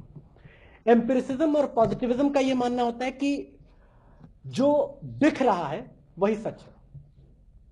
जो फेनोमेना और एसेंस में कोई गैप नहीं होता है, जो परिघटना है और सार तत्व है, उसके बीच में कोई गैप नहीं होता है। जो आप देख रहे हैं, वही सच है। इसके फिर सब्जेक्टिविस्ट और ऑब्जेक्टिविस्ट और ऑब्जेक्टिविस्ट वो भी थे ट्रेडिशंस भी थे। जो सब्जेक्टिविस्ट ट्रेडिशन था, वो ये कहता था कि जो मैं देख रहा हूँ, वही सच है। या फिर कि कोजिटो अर्गोसम जिसने I think therefore I am कि मैं सोचता हूँ, इसलिए मैं हूँ। जिन्होंने बोला कि कांट भी उसमें एक तरीके से आते थे उनका जो क्रिटिकल फिलोसफी था और ह्यूम का जो एग्नोस्टिसिज्म था, वो भी उसी ट्रेडिशन में एक तरीके से आता था। हालाँकि उनके कई अलग चीज़ें भी थी, लेकिन उनका भी यही था। कांट का कहना था कि किसी भी चीज़ को पूरी तरीके से जाना नहीं जा सकता थिंग इन इट सेल्फ जो होता है, वो अनोएबल उसको कभी पूरी तरीके से आप जान नहीं सकते। वो कुछ होगा, लेकिन आप नहीं जान सकते। You can only observe it और चूँकि आप उसको जान नहीं सकते, इसलिए किसी चीज़ के पैदा होने का आप कोई कॉजेटिव एनालिसिस नहीं कर सकते। कॉज एंड इफ़ेक्ट उसका कोई कॉज आप, इसका कोशिश भी करना, ये जानने की कि आज समाज है तो ऐसा क्यों है? इसकी कोशिश भी करना it's unfruitful it's futile exercise क्योंकि आप कभी जान नहीं सकते कि ये समाज ऐसा है तो ऐसा क्यों है। क्योंकि उसका कोई कॉजल एनालिसिस नहीं हो सकता, उसका कोई कॉजेशन नहीं किया जा सकता है। इसको ड्यूई ने भी पूरी तरीके से अपनाया। ड्यूई का भी ये कहना था कि कोई भी ए प्रायोरी थियरी नहीं होनी चाहिए। किसी भी किस्म के साइंटिफिक जनरलाइजेशन के वो खिलाफ है। उनका ये बोलना था कि जो हमारे सामने है, उसको हमें देखना चाहिए and we should take a tentative idea and implement it एक हमको टेंटेटिव आइडिया लेना था, हमको देखना चाहिए ऑब्ज़र्व करना चाहिए जो है, उसको ऑब्ज़र्व करके जो हमें समझ में आता है, उसके आधार पे एक टेंटेटिव आइडिया हमें डेवलप करना चाहिए, जिसको आप हाइपोथेसिस बोल सकते हैं, और उस हाइपोथेसिस को हमें इंप्लीमेंट करना चाहिए। If it works then you have to cling to it if it doesn't work आप उसको छोड़ दीजिए and you take another tentative idea and implement it and you have to keep doing doing it जिसको उन्होंने बोला progressive experimentation. Trial and error का method, hit and trial का method कि आप लेते हैं और आप करते हैं और आप अपने किसी भी पास्ट फेल्योर का समअप करने की भी आपको कोई ज़रूरत नहीं है। कि अगर आपके पिछले एक्सपेरिमेंट्स फेल किए तो उसका क्या कारण था? क्या आपके थियोरी में या आपके अप्रोच और मेथड में कोई वीकनेस थी? इसको एनालाइज करने की कोई ज़रूरत नहीं है because you can never know that क्योंकि आप फिनोमेना को कभी थिंग इन इट सेल्फ के तौर पे आप जान ही नहीं सकते। तो ये पहला मेजर इंफ्लुएंस जिससे जॉन ड्यूई ने ये नतीजा निकाला कि, और उन्होंने एक और भी चीज़ बोली थी। उन्होंने ये बोला था before human intelligence there there is no history of materiality ये भी उन्होंने ह्यूम और कांट के उससे ही लिया था, जो एक सब्जेक्टिविस्ट कह सकते हैं एग्नोस्टिसिज्म था, कि आप जब हैं, तभी से दुनिया शुरू होती है, जिसको उन्होंने बोला रेलम ऑफ़ प्योर एक्सपीरियंस है ना? शुद्ध अनुभव, ये कांट से ही उन्होंने लिया था रेलम ऑफ़ प्योर एक्सपीरियंस और यहाँ पर जाके वो कहते हैं कि इसलिए कोई भी पास्ट का एनालिसिस करने, उसको थियोराइज करने या किसी साइंटिफिक थियोराइजेशन की कोई ज़रूरत नहीं है। किसी भी ए प्रायरी थियोरी की कोई ज़रूरत नहीं है। पहला मेजर जो आप कह सकते हैं टेनेट ड्यूएन प्रैग्मेटिज्म का है, वो ये था। उसके बाद दूसरा उनका जो ये था, वो ये था कि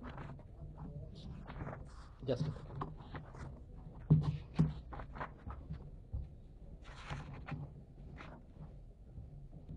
दूसरा जो डार्विन से बोले थे वो था इंक्रीमेंटलिज्म उनका ये मानना था कि नेचर और सोसाइटी में जो चेंजेस होते हैं वो हमेशा ग्रेजुअल होते हैं। ग्रेजुअलिज्म या इंक्रीमेंटलिज्म जिसको बोला गया। डार्विन ने बोला था nature doesn't take leaps nature में कोई लीप नहीं लगती है। हालाँकि बाद में एवोल्यूशन की थियोरी ने, ने बताया कि म्यूटेशंस के फॉर्म में लीप्स लगती हैं। एवोल्यूशन की भी प्रोसेस होती है वो एक दो तीन चार ऐसे नहीं बढ़ती है। उसमें बहुत सारे नए ट्रेट्स एक्यूमुलेट होते हैं और नए ट्रेट्स एक्यूमुलेट होने के बाद पुराने स्पीशीज फॉर्म में फर्दर डेवलपमेंट पॉसिबल नहीं होता और लीप्स लगते हैं। बीच में वो स्पीशीज के डेवलपमेंट में। ये फ्लोरा फोना दोनों के लिए इट होल्ड्स ट्रू जो एवोल्यूशन की हालाँकि डार्विन के टाइम में, जो डार्विन के एवोल्यूशन की थियरी थी, वो ये नहीं मानती। उनका मानना था कि पूरा जो डेवलपमेंट होता है वो ग्रेजुअल होता है इंक्रीमेंटल होता है। One two three four arithmetic progression में होता है। One two three four five six इस तरीके से होता है। और ड्यूई इसको लेते थे। उनका मानना था कि सोसाइटी में भी कोई भी चेंज विदाउट लीप्स होता है। उसमें कोई लीप नहीं लगती है। वो एक धीरे धीरे होता है। रिफॉर्मिस्ट यहीं से रिफॉर्मिस्ट उनका पूरा वो निकलता है कि रिफॉर्म्स के ज़रिए इंक्रीमेंटल चेंज होगा। वो कभी भी उसमें कोई रेडिकल शिफ्ट नहीं आएगा या कोई रेवोल्यूशनरी चेंज नहीं आएगा। यहाँ तो वो एक और चीज़ लेते थे कि ड्यूई का ये मानना था कि नेचर और सोसाइटी दोनों में कोई रियल कॉन्ट्रडिक्शन नहीं होता है। मतलब उसमें कोई ऑपोजिंग फोर्सेस नहीं होती है। कॉन्ट्रडिक्शन हमेशा परसीव्ड होता है। सोसाइटी में भी हमेशा कॉन्ट्रडिक्शन जो होता है वो परसीव्ड होता है। और इसलिए वो सोसाइटी को, जो ड्यूई का सोसाइटी का कंसेप्चुअलाइजेशन था, वो कंसेप्चुअलाइजेशन ये था कि ये इट्स अ क्या बोलेंगे उसको? ऑन्सम्बल ऑफ़ डिस्पेरेट ग्रुप्स मतलब सोसाइटी जो है और उस डिस्पेरेट ग्रुप्स में सब कुछ जोड़ते थे। मतलब एक बेसबॉल टीम भी उसमें आती थी, एक ट्रेड यूनियन भी उसमें आता था, एक एम्प्लॉयर्स एसोसिएशन भी उसमें आता था, एक असेंबली भी उसमें आती थी, सब कुछ आता था एक्सेप्ट क्लास क्लास नहीं आता था। क्लास को कभी उस तरीके से वो नहीं मानते थे। उनका मानना था कि ये जो परसीव्ड कॉन्ट्रडिक्शन होता है, ये परसीव्ड ही होता है, ये कहीं भी रियल नहीं होता है। सोसाइटी में जो डिफरेंट ग्रुप्स हैं, उनमें कोई रियल कॉन्ट्रडिक्शन नहीं होता है। ये परसीव्ड होता है और इस परसीव्ड कॉन्ट्रडिक्शन को रिजॉल्व कौन करता है? स्टेट ड्यूई का ये कहना था कि state is the great mediator, दूसरे शब्दों में, ड्यूई का ये कहना था कि state is the most rational actor in society. इसलिए वो इंटरवेंशन करके उस परसीव्ड कॉन्ट्रडिक्शन को रिजॉल्व करता है। एक जगह ड्यूई, एक एनालॉजी ड्रॉ करते हैं, एक मेटाफर ड्रॉ करते हैं, जिसमें वो बोलते हैं कि workers, due to their place in society, they have a natural tendency to become communist and the capitalist, due to their own location in the society, they have a tendency to become bourgeois in thinking और ये perceived है। इसमें state intervene करके उनके contradiction को आ, क्या बोलेगा? आ, उसको रिकनसाइल करता है एक तरीके से। तो उस कॉन्ट्रडिक्शन को रिजॉल्व नहीं करता रिकनसाइल कर देता है उसको। क्योंकि कोई रियल कॉन्ट्रडिक्शन है होता ही नहीं है। तो दूसरा ड्यूई का ये मानना था जिसकी वजह से ड्यूई की थियरी को कुछ लोग ऑपरेशनलिज्म भी कहते हैं। और ड्यूई की थियरी से उस समय बहुत लोग प्रभावित थे और उस तरह की थियरीज अलग अलग रेल में बहुत लोग प्रोपाउंड कर रहे थे जैसे एडिसन जो साइंटिस्ट था। वो कभी भी किसी भी किस्म के इन, अपने अपने खुद के इन्वेंशन के थियोराइजेशन के वो खिलाफ था। बोलता है कोई साइंटिफिक थियरी बिल्ड करने की कोई ज़रूरत नहीं है। मैं एक्सपेरिमेंट्स ट्रायल एंड एरर और उसने ज़्यादातर इन्वेंशन ट्रायल एंड एरर से किए थे एडिसन ने। वो कुछ 200 सौ के आसपास उसने इन्वेंशन किए थे लेकिन ज़्यादातर उसके सारे इन्वेंशन जो किसी साइंटिफिक थियरी पे बेस्ड नहीं थे।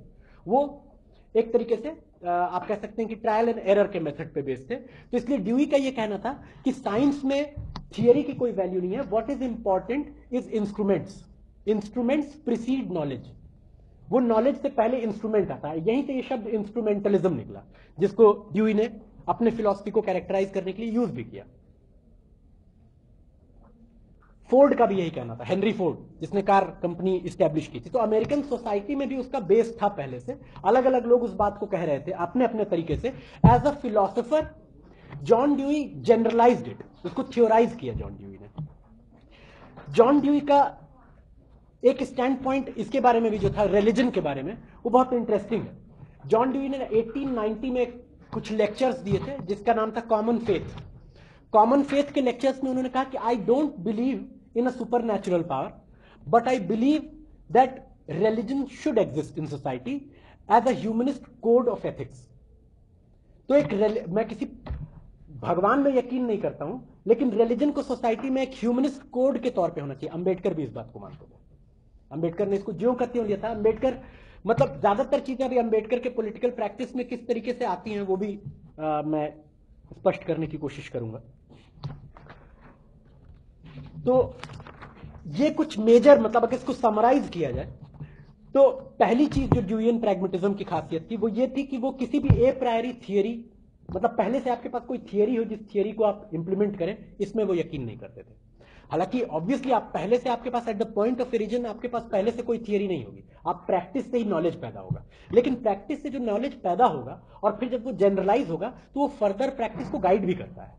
और फर्दर प्रैक्टिस को गाइड करने के प्रोसेस में वो अपने आप को भी बदलता है। जैसे कोई भी आदमी जो है, मान लीजिए आग को छूता है पहली बार, वो जलता है तो बार बार वो आग को छू के जल के नहीं जानेगा कि आग को छूने से हाथ जलता है। उसके पास जो एक नॉलेज आया, वहाँ से वो फिर आगे बढ़ता है। फिर वो आग की कैरेक्टरिस्टिक्स को समझने, आग क्या है, इसके साइंटिफिक कैरेक्टर और नेचर को समझने की दिशा में आगे बढ़ता है। तो इसलिए लेकिन ड्यू इस बात को नहीं मानते थे। वो प्रैग्मेटिस्ट चुकी थी तो वो प्रैग्मा में यकीन करते थे, बस एक्शन में। तो पहली चीज़ ये थी कि कोई ए प्रायरी थियरी नहीं होनी चाहिए, सिर्फ़ मेथड होना चाहिए, जिसको बोलते थे कि साइंटिफिक लेबोरेटरी मेथड होना चाहिए। हालाँकि ये साइंटिफिक लेबोरेटरी मेथड नहीं है कि आप किसी प्रीवियस थियरी को with complete disregard to previous theory आप कुछ नया पैदा कर देंगे। आप पीछे की थियरीज को पढ़ के ही आप लैब में कुछ, समझ के ही आप लैब में आगे कुछ करते हैं। ये बात अलग है कि वो थियरी भी प्रैक्टिस से डेवलप हुई है। लेकिन in its part theory also guides practice दूसरी चीज़ उनका यह मानना था कि सारा चेंज इंक्रीमेंटल होता है। नेचर या सोसाइटी में इट्स ऑलवेज ग्रेजुअल उसमें कोई लीप्स नहीं लगते, उसमें कोई रेडिकल शिफ्ट नहीं होता, वो ग्रेजुअल होता है हमेशा। तीसरी चीज़ कि कोई भी कॉजेशन पॉसिबल नहीं है। किसी भी फिनोमेना का कोई कॉजेशन पॉसिबल नहीं है। इसलिए उसके कॉजेज में देखना और उसके आधार पे कोई पॉलिटिकल प्रोग्राम बनाना या प्लान ऑफ़ एक्शन तय करना, ये बेकार है। You have to take a tentative idea and implement it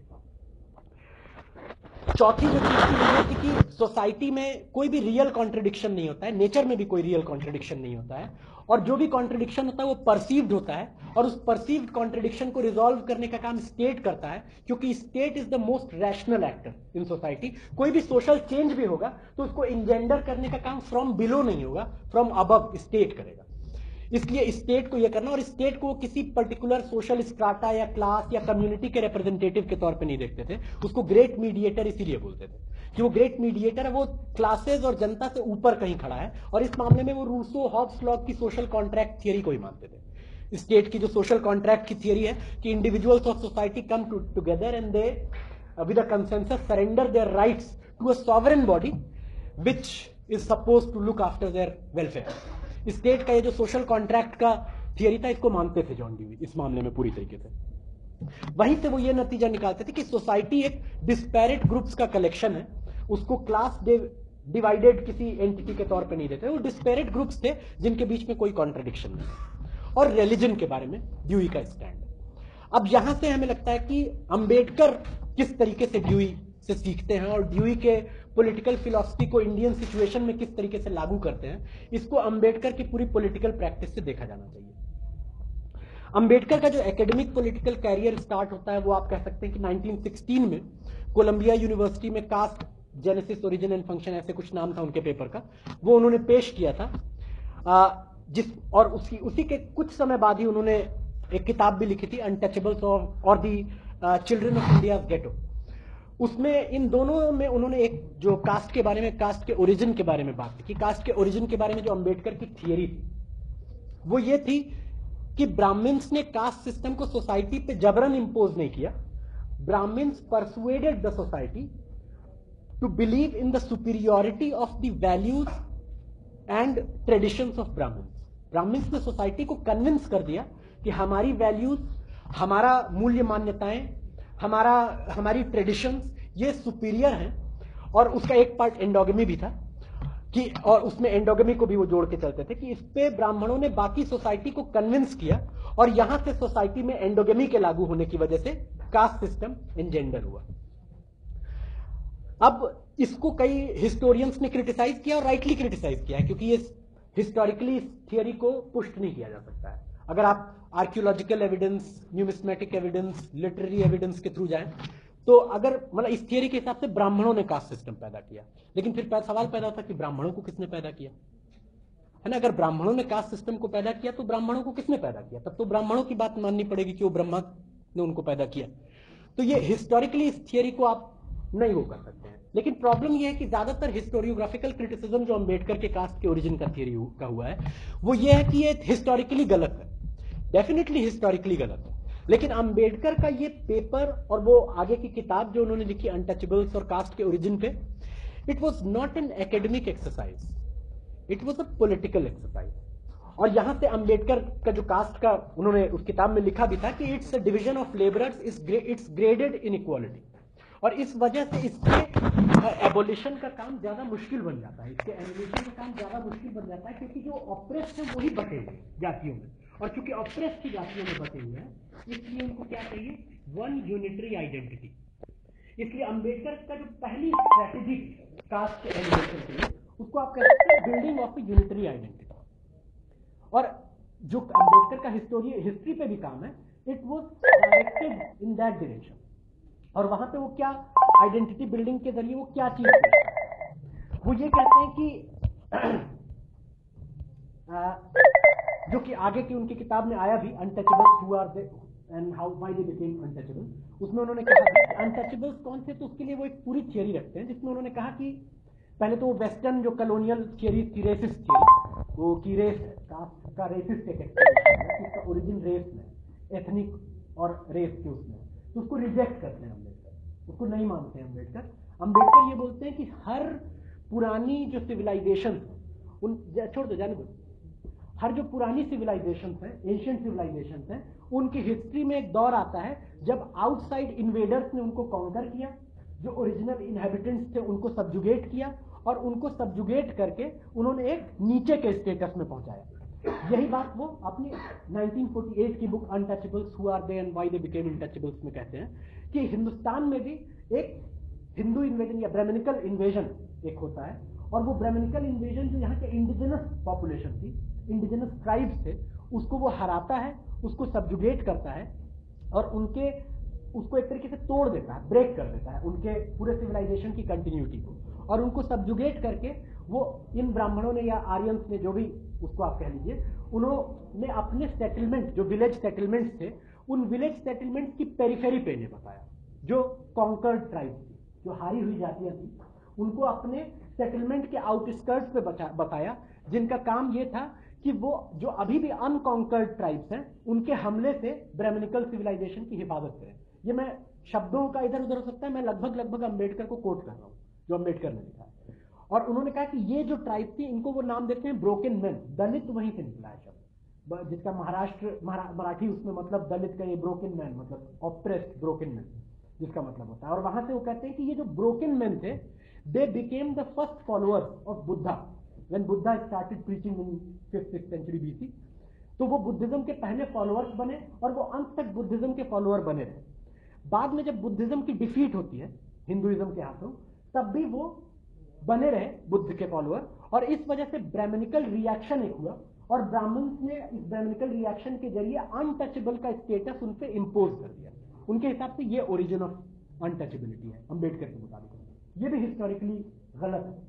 अगर जो आप कहेंगे कि अभी एंशंट इंडिया की हिस्टोरियोग्राफी में अनटचेबल तो बहुत काम हुआ है। विवेकानंद झा ने काम किया है रामचरण शर्मा ने काम किया है इवन नॉन मार्क्सिस्ट हिस्टोरियंस ने भी कई काम किया है। और कुछ इस मामले पे उनकी कंसेंसस है, ये नहीं है ओरिजिन अनटचेबिलिटी का। अनटचेबिलिटी खास दौर में गुप्ता साम्राज्य के स्टैब्लिशमेंट के साथ पहले साइंस अनटचेबिलिटी के मिलते हैं। अब मैं उसके के डिटेल में नहीं जाऊँगा, लेकिन यहाँ पर अंबेडकर का मकसद क्या है, आप ये मिस कर गए तो और आपने उनकी हिस्टोरिकल थियरी के सही गलत होने के चक्कर में आप पढ़ेंगे तो आप ये नहीं समझेंगे कि अंबेडकर के ये सारे वर्क जो है, वो एक आइडेंटिटी बिल्डिंग के पॉलिटिकल प्रोजेक्ट का पार्ट था।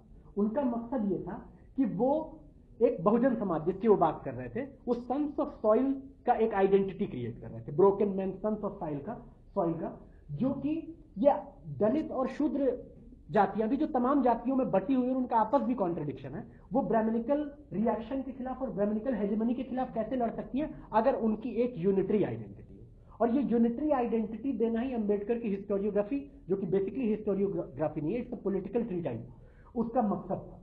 तो ये पहला आप कह सकते हैं कि अंबेडकर का स्ट्रेटेजी था आइडेंटिटी बिल्डिंग और गेन ओमवेट ने अपनी किताब में लिखा है doctor Ambedkar and democratic revolution India something like that शायद यही नाम है। उन्होंने कहा कि towards the end of his life जब अंबेडकर अभी अपनी मृत्यु के करीब थे तो वो एक कास्ट की ग्रैंड थियरी पे काम कर रहे थे जो कि एक रेशियल एथनिक थियरी उसमें वो ये कह रहे थे कि आ, एक तरीके से क्लैश ऑफ़ सिविलाइजेशन की थीसिस दे रहे थे जिसमें उन्होंने कहा कि much before Muslim conquest of India there was a Hindu conquest of India और वो हिंदू कॉन्क्वेस्ट ने आप कह सकते हैं कि उन ट्राइब्स को सब्जुगेट किया, उनको दलित बनाया, उनको शूद्र जातियों को हीन उसमें पहुँचाया, वगैरह वगैरह। और उसके साथ वो ये भी कुछ नए सिंबल्स भी पैदा कर रहे थे, जिसमें एक मेजर सिंबल था, अशोक दी मौर्य किंग तो अशोक को बोलते थे कि वो नागा किंग है। हालाँकि अब जो अशोक के बारे में वो नागा नहीं था, मौर्य ट्राइब था, जो आगे मौर्यन एम्पायर को स्टैब्लिश करने का चंद्रगुप्त मौर्य ने काम किया। तो यहाँ पर भी हिस्टोरिकल एक्यूरेसी में जाएँगे तो गलत, ये थियरी लेकिन अंबेडकर के इस पूरे थियरी प्रोपाउंडिंग का बेसिक मकसद था दलित और शूद्र के लिए एक यूनिटरी आइडेंटिटी देना ताकि ब्राह्मणिकल हेजमनी का विरोध किया जाए। पहली ये उनकी स्ट्रैटेजी थी। और यहाँ पर वो एकदम एक प्रैग्मेटिस्ट स्टैंड पॉइंट पे चल रहा है। एक्यूरेट अगर आप उनके सोर्सेज देखें तो उनके सोर्सेज में आर्कियोलॉजिकल या न्यूमिस्मेटिक सोर्सेज बहुत कम मिलेंगे मेनली दो सोर्सेज हैं ब्राह्मण संहिताएँ, जो ब्राह्मण स्क्रिप्चर्स थे, और दूसरा बुद्ध जो बुद्धिस्ट लिटरेचर था, त्रिपिटक त्रिपिटक वगैरह। उसी पे ज़्यादा रिलाई करते हैं। अभी जानते हैं कि वो हिस्टोरिकल सोर्सेज हैं, लेकिन वो लिटरेरी सोर्सेज हैं फिक्शनल सोर्सेज है, उनको डिकंस्ट्रक्ट करके आप उससे हिस्टोरिकल इंफॉर्मेशन डिराइव कर सकते हैं। एज इट इज़ उसमें दी हुई चीज़ों को आप हिस्टोरिकल फैक्ट के तौर पर लेंगे तो कई दिक्कतों का सामना करना पड़ेगा आपको। जो दूसरा उनका स्ट्रेटजी सामने आता है अंबेडकर का, वो इलेक्टोरल पॉलिटिक्स में सामने आता है। 1919 में मॉन्टफोर्ड रिफॉर्म्स जो था जिसका मॉन्टफोर्ड रिफॉर्म, मॉन्टफोर्ड कमिटी का, कमीशन का काम था, मॉन्टेग्यू चेम्सफोर्ड रिफॉर्म्स जो हुए थे। उसका काम था इलेक्टोरल कॉन्स्टिट्यूएंसी को डिफाइन करना। इलेक्टोरल कॉन्स्टिट्यूएंसी किस तरीके टेरिटोरियल हो, सेपरेट इलेक्टोरेट हो, माइनॉरिटीज के लिए, वगैरह वगैरह, उसको डिफाइन करने से पहले एक कमिटी को भेजा गया, जिसके सामने अलग अलग जो समुदाय थे, कम्युनिटीज थे, उनके लीडर्स ने अपनी टेस्टिमनी रखी। 1919 में साउथ बोरो कमेटी हिंदुस्तान आई। अंबेडकर चूँकि पहले ग्रेजुएट थे दलित कम्युनिटी से, और आप कह सकते हैं कि मोस्ट नॉलेजेबल पर्सन थे दलित कम्युनिटी में। तो उनको वहाँ पर बुलाया गया टेस्टिमनी देने के लिए।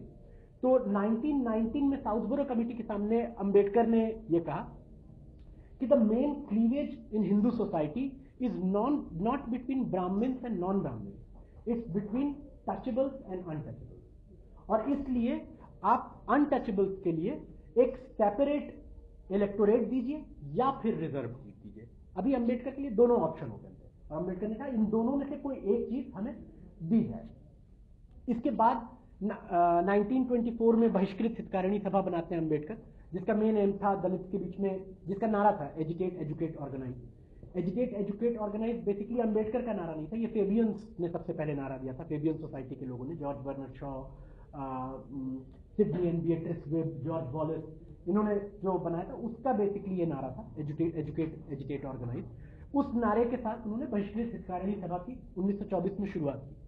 1928 में साइमन कमीशन आया और साइमन कमीशन के सामने अंबेडकर ने बहिष्कृत हितकारिणी सभा की तरफ़ से एक प्रपोजल पेश किया.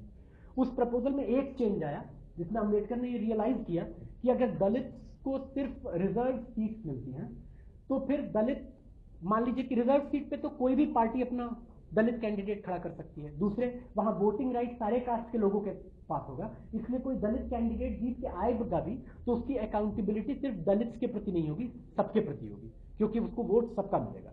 इसलिए उन्होंने कहा कि इसमें एक चीज़ जोड़ी। उन्होंने कहा कि either reserve seat with universal franchise for Dalit और सेपरेट इलेक्टोरेट दो, उन्होंने साइमन कमीशन के सामने रखा। साइमन कमीशन ने जो सेपरेट इलेक्टोरेट की बात थी, उसको स्वीकार नहीं किया, उन्होंने रिज़र्व सीट की बात को स्वीकार किया और उसमें यह भी जोड़ा कि जो भी दलित कैंडिडेट होगा, उसको अपने योग्यता का एक सर्टिफिकेट लेना पड़ेगा प्रोविंस के गवर्नर से।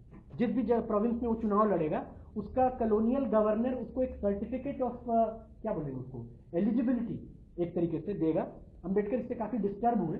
लेकिन फिर भी उन्होंने कोई कन्फ्रंटेशनल स्टैंड स्टेट के खिलाफ अंबेडकर ने कभी कोई कन्फ्रंटेशनल स्टैंड सीधे सीधे नहीं लिया उस तरीके से देखा जाए तो उस पर मैं बाद में आऊँगा कि क्यों ऐसा। कई लोग इसको ये बोलते हैं कि अंबेडकर रूलर के कॉम्प्रेडोर थे उनके दलाल थे वो तो अंग्रेज़ों के दलाल थे, थे। ये बकवास बात है।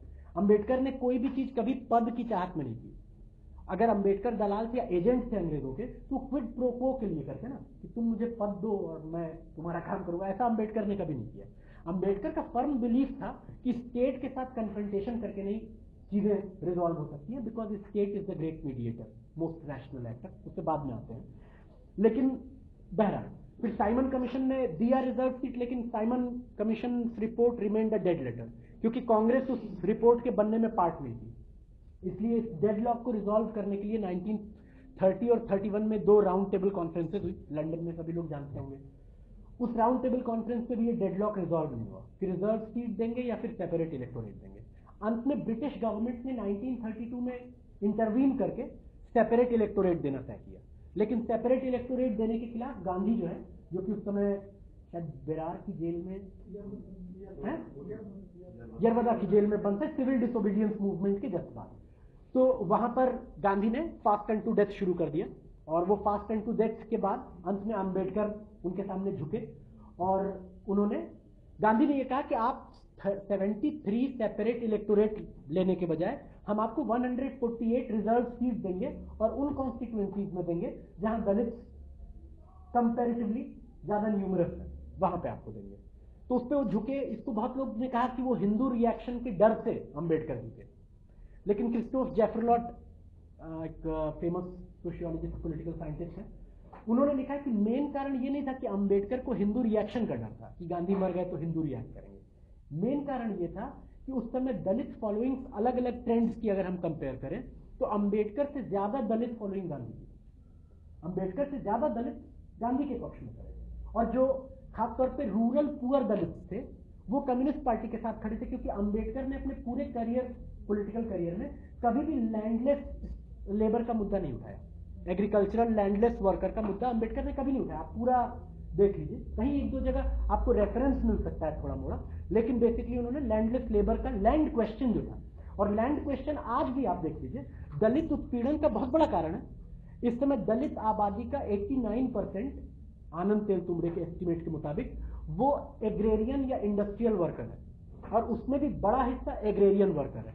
और उस समय भी right since the pre colonial times Dalit के ऑपरेशन का अगर कोई कोऑर्डिनेट्स ड्रॉ किए जाए तो उसमें सबसे इंपॉर्टेंट कोऑर्डिनेट रिसोर्सेज तक उनकी पहुँच का एक सवाल था लैंडलेसनेस एक सवाल था। क्योंकि ये भी आप देख सकते हैं कि जहाँ दलित लैंड ओनर बने, वहाँ वो रूलिंग कास्ट के तौर पे उभरे। For example Andhra South India जहाँ पे सतशूद्र, असतशूद्र का भेद किया गया, शूद्र जातियाँ, वो रूलिंग कास्ट के तौर पे उभरी वहाँ पर।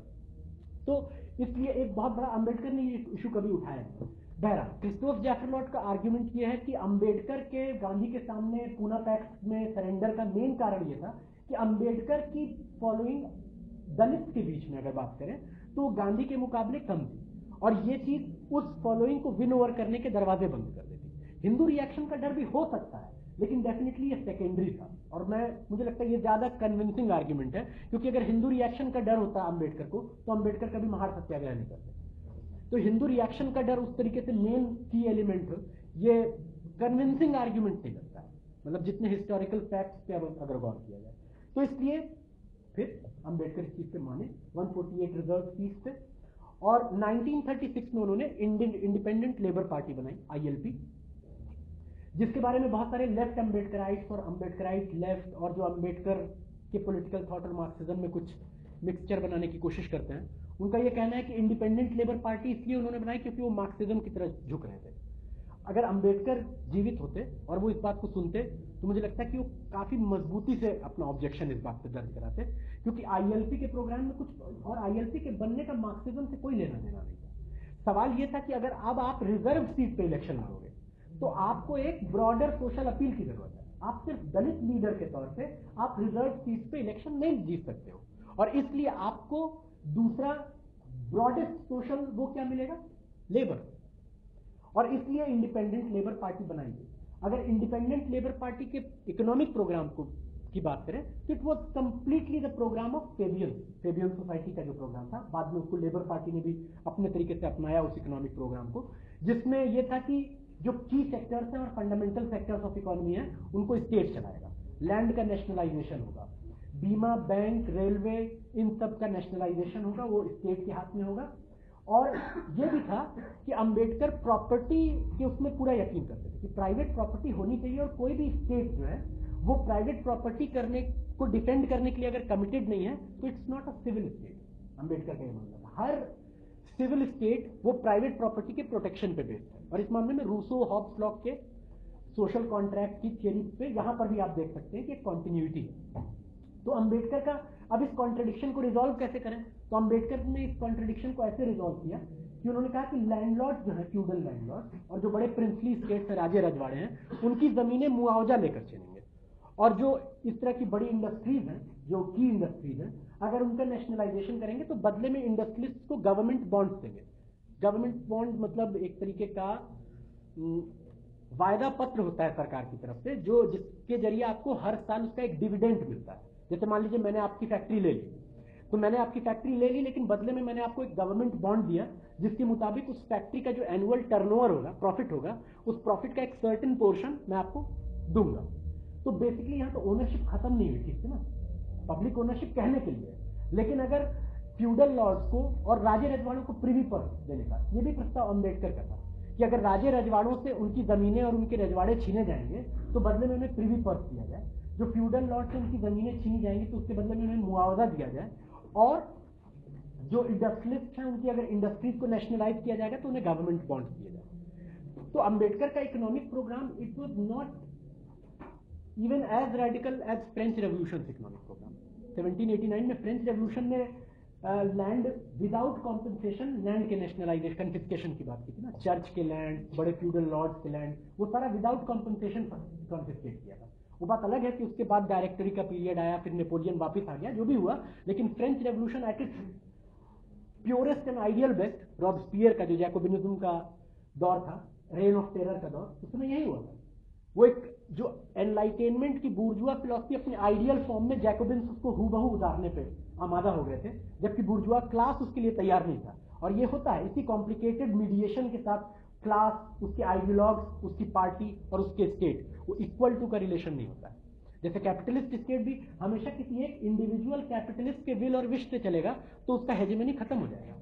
इसलिए कभी भी कैपिटलिस्ट स्टेट भी किसी एक कैपिटलिस्ट के साथ अपने इंटरेस्ट को ओवरलैप नहीं करता है। Sometimes it takes decision which is against the wishes of particular individual capitalist क्योंकि वो कैपिटलिस्ट क्लास को रिप्रेजेंट कर रहा है, किसी एक कैपिटलिस्ट को नहीं रिप्रेजेंट कर रहा है। बहरहाल तो आईएलपी बनने का, बनाने का मेन कारण ये था मार्क्सिज्म की तरफ़ कोई झुकाव नहीं था। उस समय अंबेडकर की जो पर्सनल स्पीचेज हैं, उसमें उन्होंने कहा कि class is not useful category for this analysis of Indian social situation caste is the predominant category and caste has nothing to do with access to economic resources caste का economic resources से कोई मतलब नहीं। ये अंबेडकर नहीं अंबेडकर के मुताबिक cast और दलित के स्टेटस का इस बात से कोई रिश्ता नहीं कि इकोनॉमिक रिसोर्सेज तक उनका एक्सेस कितना है, उस तक पहुँच उनकी कितनी है।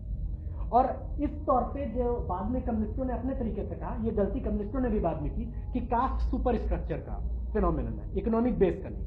मतलब ये एक इकोनॉमिक चीज़ नहीं सुपर ये कल्चरल साइकोलॉजिकल सोशल चीज़ है, इसका इकोनॉमिक रिश्यू लेकिन इस बात को सबसे पहले अंबेडकर ने कहा था। ये गलती अगर देखी जाए तो अंबेडकर अब सुपर स्ट्रक्चर और इकोनॉमिक बेस जैसा टर्म तो नहीं यूज़ करते, क्योंकि ये मार्क्सिस्ट टर्मिनोलॉजी है। लेकिन उन्होंने अपने तरीके से जो कहा, उसका मतलब ये तो इसलिए अंबेडकर की पर्सनल स्पीचेज अगर आप देखेंगे तो वहाँ अंबेडकर दूसरी बात कर रहे हैं, और आईएलपी के प्रोग्राम में वो कहते हैं कि इकोनॉमिक एक्सप्लॉइटेशन से हमें लड़ना है, और लेबर जो है इंडियन लेबर है, वो दो चीज़ का शिकार है ब्राह्मण शाही और भांडवल शाही भांडवल शाही मतलब कैपिटलिज्म ब्राह्मणिज्म एंड कैपिटलिज्म इसलिए वो डुअल एनिमी बताते हैं। कि इंडियन वर्किंग क्लास की ये डुअल एनिमी है और इनसे लड़ना हमारे लिए ज़रूरी है। बहरहाल चूँकि प्रोग्राम में और अंबेडकर की आइडियोलॉजी में भी फ़र्क था, इसलिए आईएलपी की इलेक्टोरल परफॉर्मेंस पे भी उसका असर पड़ा।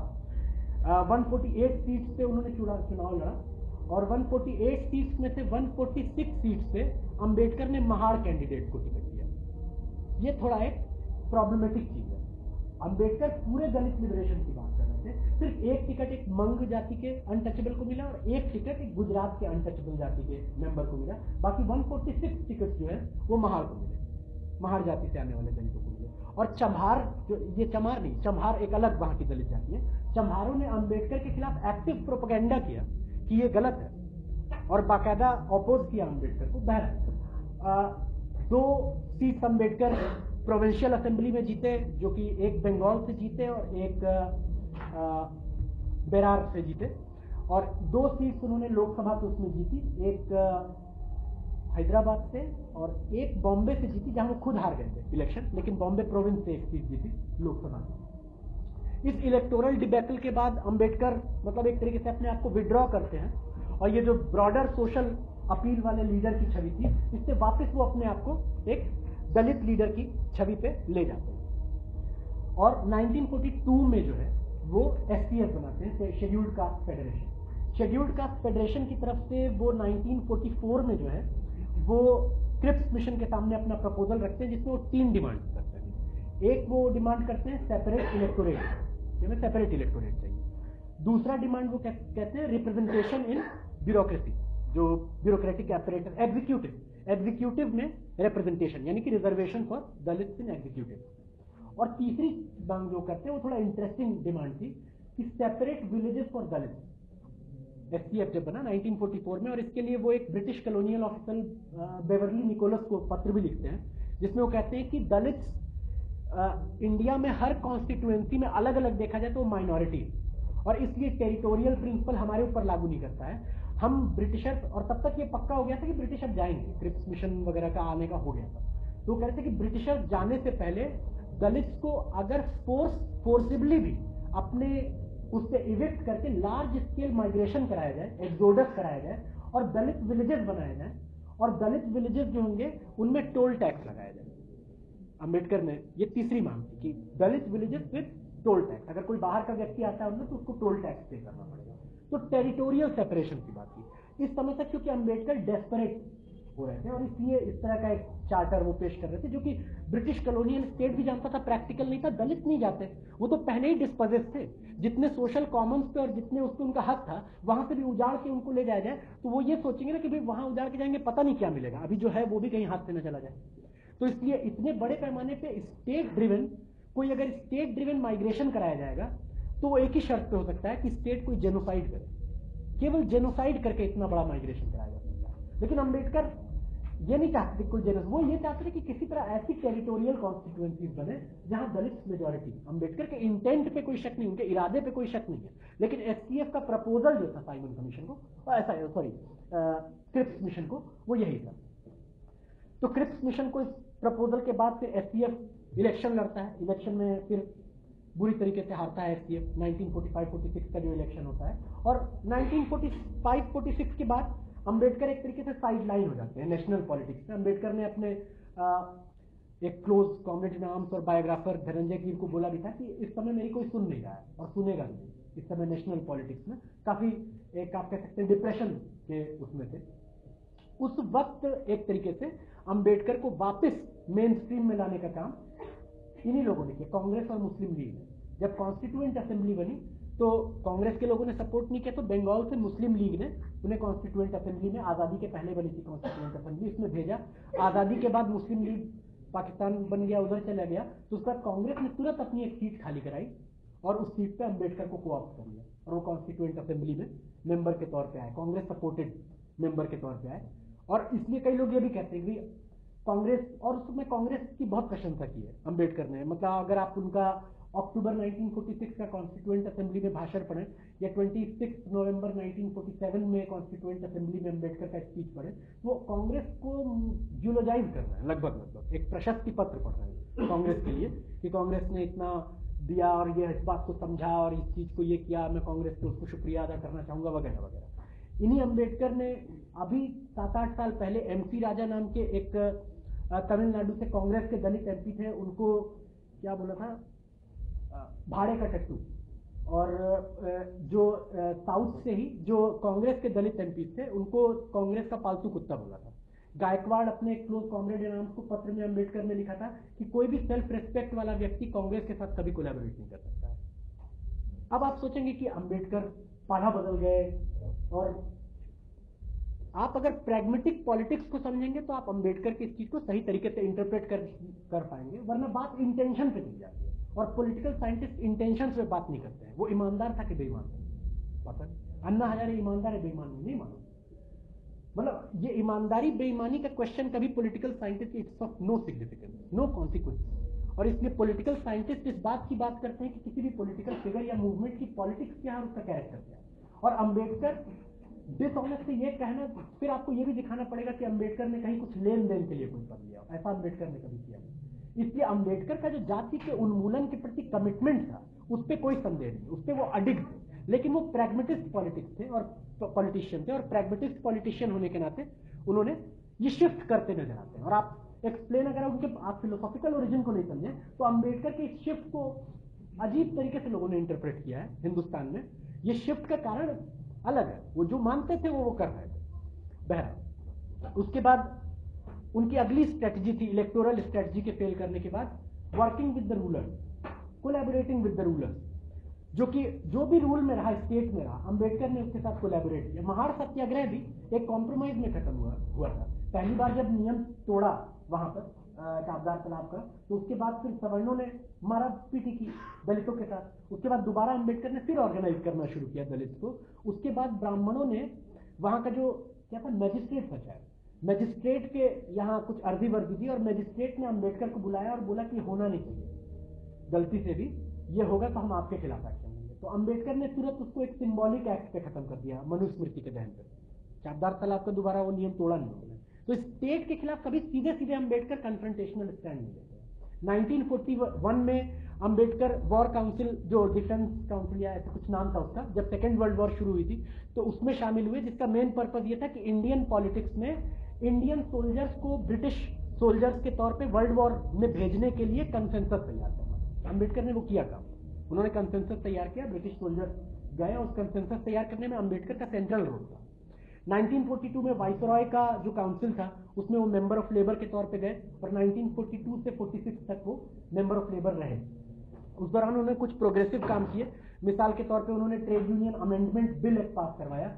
जिसके मुताबिक हर फैक्ट्री ओनर के लिए ये बाध्यताकारी ऑब्लिगेटरी हो गया कि वो अपने फैक्ट्री में एक यूनियन को रिकॉग्नाइज करेगा और उसके साथ नेगोशिएट करेगा। साथ में उन्होंने 8.33 परसेंट रिजर्वेशन दलित के लिए, जो उस समय एकदम एक प्रोग्रेसिव डिमांड थी, उसको इंश्योर किया कि एग्जीक्यूटिव ब्यूरोक्रेसी में मिलेगी।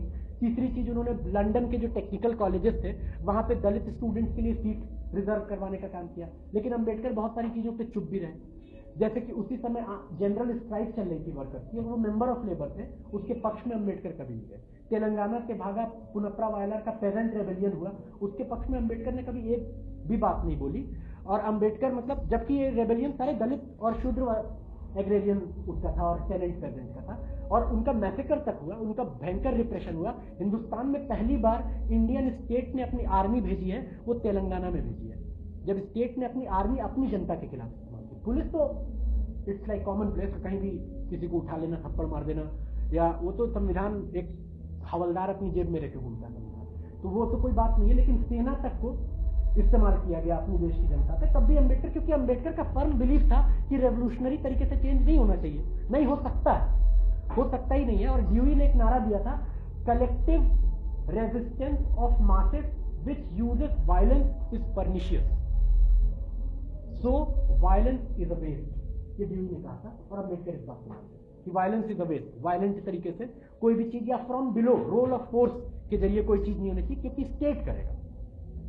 उस चीज़ को स्टेट क्योंकि मोस्ट रैशनल है उसके बाद फिर ये कोलैबोरेशन के बाद कॉन्स्टिट्यूएंट असेंबली में गए। फिर कॉन्स्टिट्यूएंट असेंबली में भी बहुत सारे जैसे संविधान के उसमें भी वो बहुत सारी चीज़ों पे आ, वो उन्होंने कोई स्टैंड नहीं लिया क्योंकि अब वो पहली बात तो इसी चीज़ पे स्टैंड लिया जाना चाहिए वैसे तो कि एक संविधान सभा जो यूनिवर्सल फ्रेंचाइज पे चुनी ही नहीं गई है। यूनिवर्सल फ्रेंचाइज तो फ़र्स्ट जनरल इलेक्शन में लागू हुआ ना 1952 में। उस समय तक तो यूनिवर्सल फ्रेंचाइज था ही नहीं। 11.5 परसेंट लोगों के वोट के आधार पर जो कॉन्स्टिट्यूएंट असेंबली गई थी, उसमें आप गए। तो अगर, लेकिन अंबेडकर इसमें एक अपॉर्चुनिटी क्योंकि वो ही वो प्रैग्मेटिस्ट पार एक्सीलेंस तो वो वहाँ पे एक अपॉर्चुनिटी देख रहे थे कि अभी मैं कॉन्स्टिट्यूएंट असेंबली में जाके दलित के लिए क्या कर सकता क्या चीज़ें जीत सकता हूँ? इस वजह से वो गए थे। लेकिन डेमोक्रेटिक प्रिंसिपल के पैमाने पे देखा जाए तो पहले तो आप इस चीज़ को एक्सपोज करेंगे कि पहले आप यूनिवर्सल फ्रेंचाइज तो दो, और तब कॉन्स्टिट्यूएंट असेंबली बनाओ। उस समय कम्युनिस्ट पार्टी यही डिमांड कर रही थी। बहरा उसके बाद संविधान जब बना भी तो आप उसमें देख सकते हैं कि संविधान का ड्राफ्ट पहले तैयार हो गया था। बहुत लोग जानते होंगे ड्राफ्ट को बाद में अंबेडकर ने सिर्फ़ कुछ एक दो जगहों पे एडिटिंग की। वो गवर्नमेंट ऑफ़ इंडिया एक्ट 1935 का जो था उसके 395 एक्ट में से 250 से ज़्यादा एक्ट ज्यो के त्यों संविधान में लिए गए थे और उसका ड्राफ्ट तैयार करने का काम दो ब्यूरोक्रेट्स ने तक किया था बी एन राव और एस एन मुखर्जी अंबेडकर ने अपना डेट उनके प्रति एक्सप्रेस किया है कॉन्स्टिट्यूंट असेंबली के भाषण में कि एस एन मुखर्जी और बी एन राव ने पहला ड्राफ्ट तैयार किया। मैंने इसकी बस एडिटिंग की है। अंबेडकर का वहाँ तो और भी बहुत सारी चीज़ जैसे कि अब arm forces special powers act जो बना 1958 में वो तो 1942 का एक ऑर्डिनेंस था जो क्विट इंडिया मूवमेंट के समय अंग्रेज़ों ने आ, बनाया था कि और डिस्टर्ब एरिया एक्ट वो भी उसी वक्त बना था। वो भी कॉन्स्टिट्यूशन में मतलब कोई उसके प्रति सेफ़ गार्ड नहीं लगाया गया। जो आईपीसी और सीआरपीसी कलोनियल पीरियड की थी उसको ज्यो का क्यों लिया गया। तो ये सारी चीज़ें तो कॉन्स्टिट्यूशन में बोला जाना चाहिए था। अगर एक ट्रूली डेमोक्रेट व्यक्ति होगा तो वो बोलेगा। लेकिन अंबेडकर के पास स्कोप नहीं था। इसलिए अंबेडकर ने 1952 में ये बोला कि इस संविधान में बहुत सारी चीज़ें मैंने अपनी इच्छा के विरुद्ध लिखी हैं। और अगर इस संविधान को जलाने की बात आएगी तो मैं पहला व्यक्ति होऊँगा जो इस संविधान को जलाएगा। लेकिन उन्होंने भारत के दलित और वर्किंग क्लास को नहीं कहा कि संविधान को उन्होंने भारत के वर्किंग क्लास को और दलित को कॉन्स्टिट्यूएंट असेंबली में ये कहा कि always be a law abiding citizen और ये रेवोल्यूशन या रेडिकल मूवमेंट की बात ये करना बेकार है, क्योंकि ये इनडायरेक्ट रेफरेंस था उस समय के प्रेजेंट रेबेलियन और उन्होंने अपने बायोग्राफर धनंजय कीर को बोला भी था कि unionism and communism come hand in hand वो एक साथ हाथ पकड़ के आते हैं और इसलिए मैं रेड यूनियन कहीं पर भी होगी, कोई तो मैं उसका विरोध करूँगा और प्रेजेंट रेबेलियन कोई होगा तो मैं उसका विरोध करूँगा, इस तरीके से परिवर्तन नहीं होता परिवर्तन स्टेट को परसुएट करके होता है। और इस स्टेट को परसुएट करने का लॉजिक था, जिसकी वजह से अंबेडकर ने हमेशा इंटेलेक्चुअल्स के रोल पे बहुत ज़ोर दिया है। अगर आप एनिलेशन ऑफ़ कास्ट पढ़ें स्टेट एंड माइनॉरिटीज पढ़ें जलगांव और डिप्रेस क्लासेस कॉन्फ्रेंस में उनका भाषण देखे तो वो ये कह रहे हैं कि इंटेलेक्चुअल्स का बहुत रोल है। बाद में towards the end of his life वो दलित इंटेलेक्चुअल्स के प्रति अपना वो डिसअपॉइंट हो रहे थे और वो बोल रहे थे कि ये जो नीचे से उठ के अब इंटेलेक्चुअल इंटेलिजेंसिया के पार्ट बन गए हैं, वो अब हमारी बात नहीं कर रहे हैं। वो अब दलित की बात नहीं कर रहे हैं, वो सिस्टम के पार्ट बन गए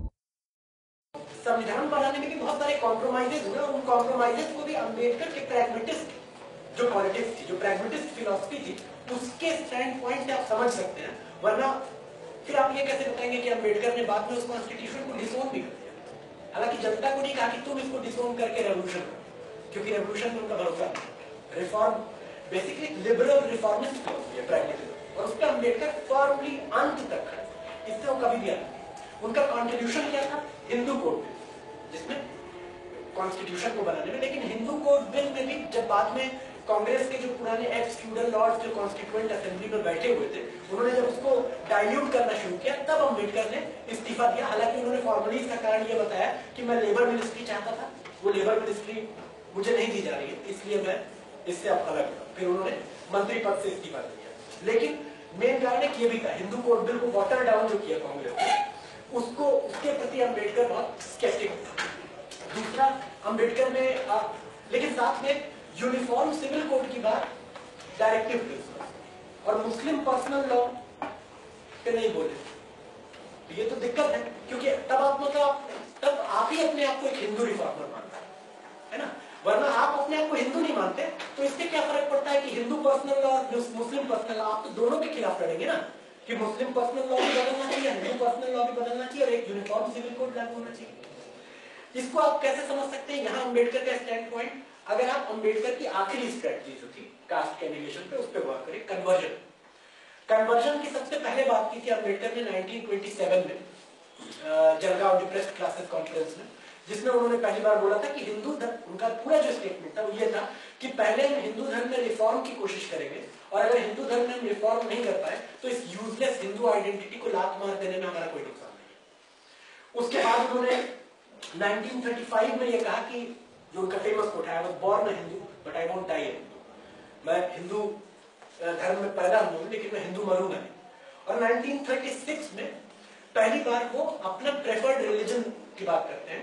Not Buddhism first preferred religion था सिखिज्म सिखिज्म की वो बात करते हैं और सिखिज्म को स्टडी करने के लिए अपने तेरह फॉलोअर्स को अमृतसर भेजते हैं, जो वो सिखिज्म पढ़े और उनके इस बात के बाद कुछ लोग इस्लाम कुछ लोग सिखिज्म में अपने आप करते दलित तो उसकी वजह से हिंदूज ने काफ़ी डर के कंसेशन दी तो अंबेडकर को ये बात क्लिक की कि ये स्ट्रेटेजी इट वर्क्स तो उसके बाद फिर अंबेडकर ने इस बात को खुल के सिखिज्म में कन्वर्जन की बात को कहना शुरू किया। और इसके लिए वो 1936 हाँ 1936 में क्योंकि उसी समय वो इलेक्टोरेट डिफाइन हुआ था टेरिटोरियल कॉन्स्टिट्यूएंसीज डिफाइन हो रही थी। तो लंदन में ये पूछने के लिए कि अगर दलित सिखिज्म में कन्वर्ट होते हैं तो सिखिज्म को एज अ माइनॉरिटी जो प्रिविलेज मिलेगा, क्या दलित कन्वर्ट उसके हकदार होंगे? तो ब्रिटिशर्स ने नहीं होंगे। सिर्फ़ जट सिख होंगे। फिर वो वापस आए तो मास्टर तारा सिंह जो उस समय सिक्स के प्रमुख लीडर थे उन्होंने ये कहा कि हम नहीं चाहते कि आप कन्वर्ट हो हम आपको नहीं कन्वर्ट होने देंगे, क्योंकि अगर सारे दलित सिखिज्म में कन्वर्ट होंगे तो हम ही सिखिज्म में माइनॉरिटी हो जाएँगे। और in the course of time leadership भी दलित सिक्स के हाथ में ट्रांसफ़र हो जाएगी। इसलिए उन्होंने इनकार कर दिया। उसके बाद कुछ जो सिख चीज़ों में कन्वर्ट हो गए थे दलित पहले, उन्होंने अंबेडकर को बताया कि जितनी एट्रोसिटीज ब्राह्मणों ने उनके ऊपर की है उससे ज़्यादा एट्रोसिटीज जट पेजेंट सिखों ने उनके ऊपर। इसलिए यहाँ पर कोई फ़ायदा नहीं आने का। तो वहाँ से फिर अंबेडकर 1937 से लेकर 1950 तक। अच्छा एक और चीज़। 1936 में वो सिखिज्म को क्यों अप्रोच करते हैं? इसके सुझाव पर? गोलवलकर के गुरु मुंजे मुंजे से उनकी मुलाकात होती है 1935 या 36 में, जिसमें कि मुंजे ये बोलते हैं कि आप सिखिज्म में जाइए, क्योंकि इससे आप सिर्फ़ हिंदू रिलीजन के फोल्ड से बाहर जाएँगे, लेकिन आप हिंदू सिविलाइजेशन के भीतर रहेंगे। फिर अंबेडकर ने कहा कि हम हिंदू सिविलाइजेशन और कल्चर के प्रति हमारा एक डेट है कर्ज है। और इस कर्ज के लिए मैं दलितों को यह कहूँगा कि वो सिखिज्म में कन्वर्ट हो। इससे हम सिर्फ़ हिंदू रिलीजन को छोड़ेंगे, हिंदू सिविलाइजेशन को। बहुत प्रॉब्लम थी। मतलब वैसे देखा तो। और इसीलिए कोई कारण, ये बेकारण नहीं है कि आरएसएस 1925 से आज तक कई बार उसने अंबेडकर को अप्रोप्रिएट करने की कोशिश की और कहीं कहीं वो पार्शियली सक्सेसफुल हुए। लेकिन 1925 से अपने एग्जिस्टेंस में आने के बाद, खासतौर पे 1931 के बाद आरएसएस ने भगत सिंह को अप्रोप्रिएट करने की बहुत कोशिश की, लेकिन नहीं कर पाया। क्योंकि अप्रोप्रिएट करने योग्य कोई एलिमेंट मिला नहीं। और यहाँ पर थॉट्स ऑन पाकिस्तान अगर आप अंबेडकर का पढ़े तो उसको कंटेक्ट से काट के आप ये बोल सकते हैं कि वो अंबेडकर पाकिस्तान के विरोधी थे। पाकिस्तान के विरोधी नहीं थे। लेकिन एक चीज़ उनसे जब पूछी गई कि आपने इस्लाम को कभी कन्वर्जन के लिए कंसिडर क्यों नहीं किया? क्रिश्चियनिटी को किया सिखिज्म को किया अल्टीमेटली बुद्धिज्म में कन्वर्ट हुए। तो उन्होंने बोला कि इस्लाम को मैं इंडियन सिविलाइजेशन का पार्ट नहीं मानता। लेकिन उन्हीं के हिसाब से इस हिंदुइज्म भी तो बाहर का था ना। हिंदू इन्वेजन हुआ था। हिंदुइज्म भी इंडियन कॉन्टिनेंट के इंडियन सिविलाइजेशन का पार्ट कहा था। तो बहुत कॉन्ट्रडिक्शन अगर आप गौर से देखें तो। तो अंत में फिर 37 से कहते हैं 50 तक अंबेडकर कन्वर्जन के बारे में कोई बात नहीं करते हैं। और फिर यही यही कारण है कि 36 में उन्होंने बोला था कन्वर्ट होंगे, लेकिन 56 में कन्वर्ट क्योंकि अगर आप एनिलेशन ऑफ़ कास्ट पढ़े तो उन्होंने कहा मेरा पहला प्रयास ये होगा कि ब्राह्मण्स को कन्विंस करें कि वो कास्ट सिस्टम को छोड़ क्योंकि अगर वो कास्ट सिस्टम एंडोगमी को छोड़ेंगे तो फिर कास्ट सिस्टम दूर हो सकता है। तो पहला ये ये ट्रायल का पीरियड उनका लंबा था कि हिंदू रिलीजन के ओल्ड में ही सुधार हो। और इसलिए हिंदू रिलीजन का जहाँ उन्होंने ज़बरदस्त पर्दाफाश किया रिडल्स ऑफ़ क्या था वो? हिंदुइज्म और वो हाँ philosophy of Hindu riddles of Hinduism एक था एक और था। मैं भूल रहा हूँ उसका नाम एक और किताब लिखी थी जिसमें हिंदुइज्म का इतना बढ़िया एक्सपोजर बहुत कम लोग किया जितना बढ़िया एक्सपोजर क्योंकि अंबेडकर ने अपने जीवन का एक अच्छा खासा टाइम जो है वो वेदों पुराणों और ब्राह्मण संहिताओं का अध्ययन करने में बिताया। अच्छा खासा टाइम और बहुत गहरा अध्ययन किया। मतलब हिंदू धर्म के सारे स्क्रिप्चर्स का और ब्राह्मण संहिताओं का तो उनके पास वो नॉलेज थी जिससे वो हिंदुइज्म के जो इडियोटिक रिचुअलिज्म कर्म, कांड, अंधविश्वास कूपमंडूकता ये जो ढकोसलापन है, इसका उन्होंने बढ़िया क्रिटिक किया है। लेकिन that's where it ends that's it उसके बाद अंबेडकर की पॉलिटिकल प्रैक्टिस में वही प्रैग्मेटिक हुआ था। थिंकिंग के लेवल पे अंबेडकर क्लियर थे, और अंबेडकर रिलीजन को भी लेकर उनका स्टैंड बहुत प्रॉब्लमेटिक था। उन्होंने एक जगह लिखा it pains me to see the youth of country turning away from religion I believe that there should be a religion in the society because religion has been the base of all civil governments in the history of humanity. इसलिए religion का role होना चाहिए। और इसलिए secularism की भारतीय परिभाषा संता बंता के चुटकुले से ज़्यादा मज़ेदार है। क्योंकि सेक्युलरिज्म की जो असली परिभाषा है वो complete separation of state from religion religion को कंप्लीटली पर्सनल इशू बनाया जाना वो कंप्लीटली पॉलिटिकल और सोशल लाइफ में रिलीजन का कोई वो नहीं जिसको लाइसाइट फ्रेंच रेवोल्यूशन में लाइसाइट का जो कंसेप्ट है पॉलिटिकल साइंस के स्टूडेंट हम पढ़ते हुए तो ये था, लेकिन यहाँ सर्व धर्म संभव। सारे धर्म एक बराबर यानी कि सरकार सारे धर्मों का बराबर कम्युनिटी के साथ इस्तेमाल कर सकती है जनता को बांटने के लिए इसका यही मतलब जो राहुल सांकृत्यायन ने कहा था कि किस बेवकूफ़ ने कहा मज़हब नहीं सिखाता, आपस में बैर करना। मज़हब ही तो सिखाता है आपस में बैर करना, भाई को है सिखाता, भाई का खून करना। तो ठीक ही बात है। बाकी मेरा किसी के पर्सनल उस पर वो नहीं है। आपकी आस्थाओं का मैं सम्मान करूँगा और आप भी मेरी आस्था का सम्मान करेंगे। मतलब मेरी कोई आस्था ना होने का ये एक सोचने वाली बात तो इसलिए अंत में जो मैं कहना चाहूँगा, वो ये है कि ये जो प्रैग्मेटिस्ट पॉलिटिक्स और फिलोसफी जिसको अंबेडकर ने अपने उसमें लागू किया, पूरी तरीके से अपने पॉलिटिकल प्रैक्टिस इसके लिमिटेशन सामने थे। अपने आखिरी पत्र में दादा साहेब गायकवाड़, जो कि उनके एक तरीके से, आप कह सकते हैं, उत्तराधिकारी कहे जा सकते हैं, उन्होंने आरपीआई बनाने का निर्णय हो गया था, लेकिन आरपीआई उनके लाइफ टाइम में बना नहीं, उसके बाद बना। तो उन्होंने पत्र में कहा था कि अगर ये एक्सपेरिमेंट फेल करता है देन ज्वाइन द कम्युनिस्ट तो बहुत लोगों ने कहा कि अंबेडकर अब कम्युनिस्ट हो गया। ये भी गलत है। It was just a step of progressive experimentation हमने वैश्विक चित्रकारिणी सभा किया, नहीं हुआ। आईएलपी किया, नहीं हुआ। एससीएफ किया, नहीं हुआ। आरपीआई किया, नहीं हुआ। अब ये नहीं होता है तो कम्युनिस्ट हो। जाएगा not with communist convictions, just as a part of instrumentalist experimentation.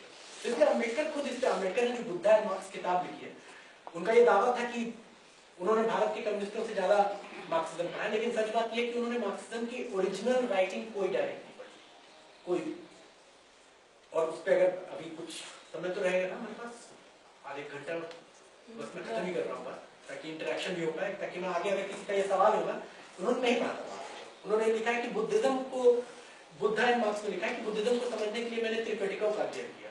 लेकिन मार्क्सिज्म को समझने के लिए उन्होंने कौन सी मार्क्सिस्ट राइटिंग पढ़ी, इसका वो ज़िक्र नहीं करता इसीलिए एक जगह वो बोलते हैं कि 1917 में रूसी क्रांति होने के, रूसी क्रांति जब हुई, और उसके साठ साल पहले कम्युनिस्ट मैनिफेस्टो छपा था। साठ साल पहले कैपिटल कम्युनिस्ट मैनिफेस्टो अस्सी साल पहले उसको छपा था। अस्सी, सत्तर साल पहले छपा था एटीन फोर्टी एट में छपा तो एक जगह और भी वो लिखते कि मार्क्स ने कहा था कि दुनिया की व्याख्या करने की ज़रूरत नहीं है, दुनिया को बदलने का सवाल है। मार्क्स ने कहा ही कुछ नहीं कहा मार्क्स ने यह कहा था कि सिर्फ़ व्याख्या करने से काम नहीं चलेगा, व्याख्या इसलिए की जानी चाहिए ताकि बदल जाए। तो बहुत मिस कोट करते कोई उसका सोर्स को नहीं दिखाते बहुत वो किताब इंटरेस्टिंग किताब है। अगर कोई even as a social scientist living apart political conviction कोई अगर पढ़ना चाहे तो इंटरेस्टिंग किताब वीक बुक मतलब उसमें कहते हैं कि हमारा प्रॉब्लम मार्क्सिज्म के इस प्रिंसिपल से है कि वो वायलेंट ओवरथ्रो की बात करता है। ये भी मार्क्सिज्म नहीं कहता मार्क्सिज्म ये कहता है कि वायलेंस हमारे विश और विल का इशू नहीं है। जिस तरीके से नए बच्चे के जन्म में धाय की एक भूमिका मिडवाइफ की एक भूमिका होती है हिस्ट्री में फोर्स का एक रोल होता है। फोर्स के रोल होने का मतलब ये नहीं कि हम खून के प्यासे होते हैं, कि हमें तो खून बहाना ही है, तभी हम करते हैं। ऐसा कुछ मार्क्सिज्म में कहीं मार्क्स की किसी राइटिंग में एंगल्स लेनिन स्टालिन की किसी राइटिंग में नहीं है। उन्होंने ये कहा रोल ऑफ़ फोर्स होता है, जिसको कहते हैं कि वायलेंस और फैक्ट ऑफ़ वायलेंस ये होता है, जिसका मतलब ये कि आप अपने शक्ति का भय दिखाकर भी रूलिंग क्लास से सत्ता छीन सकते हैं, जो कि रशियन रेवोल्यूशन में रशियन रेवोल्यूशन में खून कहाँ आता है? अक्टूबर में storming of the winter palace October 1930 उसमें तो खून भाई था, उसके बाद चार साल जो चौदह देशों की घेराबंदी थी और जो सिविल वॉर चला, खून खराबा उसमें हुआ। तो इसलिए ऐसा कुछ फैटिश नहीं है मार्क्सिस्ट लोगों का कि वायलेंस करेंगे तो बड़ा मज़ा आएगा। ऐसा ना तो कहीं लिखने में आपको मिलेगा ना, किसी स्पीच में मिलेगा, कुछ नहीं। ये भारत में कम्युनिस्टों ने किया। जब यहाँ नक्सल मूवमेंट पैदा हुआ तो चारू मजुमदार ने यहाँ तक नारा दिया कि जिसके हाथ शत्रु के खून से न रंगे हों, वो कम्युनिस्ट ये कम्युनिज्म है ये टेररिज्म ये एक रेवोल्यूशनरी टेररिज्म मतलब इस तरह की चीज़ें, अब भारत के कम्युनिस्टों ने क्या किया, उससे अगर मार्क्सिज्म को जज किया जाएगा तो बहुत भयंकर नतीजे तक मतलब भारत के कम्युनिस्टों ने क्या किया, उसके आधार पर मार्क्सिस्ट साइंस को या मार्क्सिस्ट थियोरी को जज नहीं किया जा सकता। आखिरी में मैं यही कहना चाहूँगा कि अंबेडकर के एक क्रिटिकल एनालिसिस की डेफिनेटली ज़रूरत है। अंबेडकर को जिस तरीके से सेंटी सेंटिफाई कर दिया गया है मतलब कोई आइडल का वो बना दिया गया, ये मुझे लगता है इसके खिलाफ अंबेडकर भी बोलते हैं। अंबेडकर जिसको अपना गुरु मानते थे, बुद्धा, उन्होंने बोला था, बुद्ध ने बोला था, किसी बात को सिर्फ़ इसलिए नहीं मान लो क्योंकि तुम्हारा शिक्षक या तुम्हारा अग्रज तुमसे ये कहता है, हर बात को पहले तर्क की कसौटी पे परखो और तर्क की कसौटी पे जो बात खरी उतरे, उसे मानो बाकी बेकार तो बुद्ध की उसी बात पे को मुझे लगता है अंबेडकर के पूरी पॉलिटिकल लेगेसी पे भी लागू किया जाना चाहिए और उनके कॉन्ट्रीब्यूशन और उनके लिमिटेशन दोनों को समझा जाना चाहिए। स्टेट के बारे में उनका ख्याल वायलेंस के बारे में उनका ख्याल फ्रॉम बिलो चेंज के बारे में उनका ख्याल, ये सारे ख्याल के बारे में क्रिटिकली सोचेंगे तो ही दलित लिबरेशन मूवमेंट भी आएगा और कोई मिलिटेंट एंटी कास्ट मूवमेंट भी आएगा आज कोई मिलिटेंट एंटी कास्ट मूवमेंट मैं एंटी कास्ट इसलिए बोल रहा हूँ कि एंटी कास्ट मूवमेंट और दलित मूवमेंट में फ़र्क दलित मूवमेंट का मतलब यह है कि वो कि वो जो पैथोलॉजी ऑफ़ ऑपरेस्ट की बात फ्रांस फैनन ने की थी उत्पीड़ित की करा को उत्पीड़ित ही समझेगा। तो ये लॉजिक गलत है। औरत के दर्द को औरत ही समझेगा। घोड़े के दर्द को फिर घोड़ा ही समझेगा। मतलब ये कौन सा लॉजिक है? मतलब ये कोई लॉजिक ये बात सच है कि उत्पीड़ित ही अपने दर्द के ऐसा कई चीज़ें होती है ना अपैथी इम्पैथी सिंपैथी बहुत सारी चीज़ें होती है। और आ, एक और चीज़ मैं भूल रहा हूँ। अपैथी सिंपैथी इम्पैथी ये जो चीज़ होती है तीनों अलग चीज़ है। अब सिंपैथी रखने का तो रेवोल्यूशनरी रेडिकल पर्सपेक्टिव से कोई सवाल नहीं है, लेकिन इम्पैथी कोई भी रख सकता है उस कॉज के साथ। और ये कहना कि दलित मुक्ति सिर्फ़ दलितों का काम है, ये दलित मुक्ति के दरवाजे हमेशा के लिए बंद करने की बात हुई दलित मुक्ति हर उस इंसान का काम है, जो इंसान कास्ट की घटिया, घिनौनी बदबूदार सड़ चुकी परिघटना से तहे दिल से और शिद्दत से नफरत करता है, और इससे लड़ने के लिए कम रखता है, इच्छा रखता है, दिल रखता है, ऐसे हर व्यक्ति। और इसलिए मिलिटेंट एंटी कास्ट मूवमेंट का मतलब दलित मूवमेंट से अलग है और आज का टास्क ये है कि मिलिटेंट एंटी कास्ट मूवमेंट इसके बिना न तो रेवोल्यूशन हो सकता है। कोई ये सोचे कि रेवोल्यूशन हो जाएगा, फिर हम कास्ट सिस्टम ठीक कर लेंगे। ये भी बेवकूफ़ी है। रेवोल्यूशन हो ही नहीं पाएगा अगर आज ही से मिलिटेंट एंटी कास्ट स्ट्रगल्स नहीं जाते जब तक वर्किंग क्लास की कास्ट पे बटा हुआ इसको आज से के बीच से कास्ट के खिलाफ मिलिटेंट प्रोपेगेंडा और मिलिटेंट एंटी कास्ट ऑर्गेनाइजेशन जो संघी गुंडों का सड़क पे भी जवाब है। जब तक ऐसे एंटी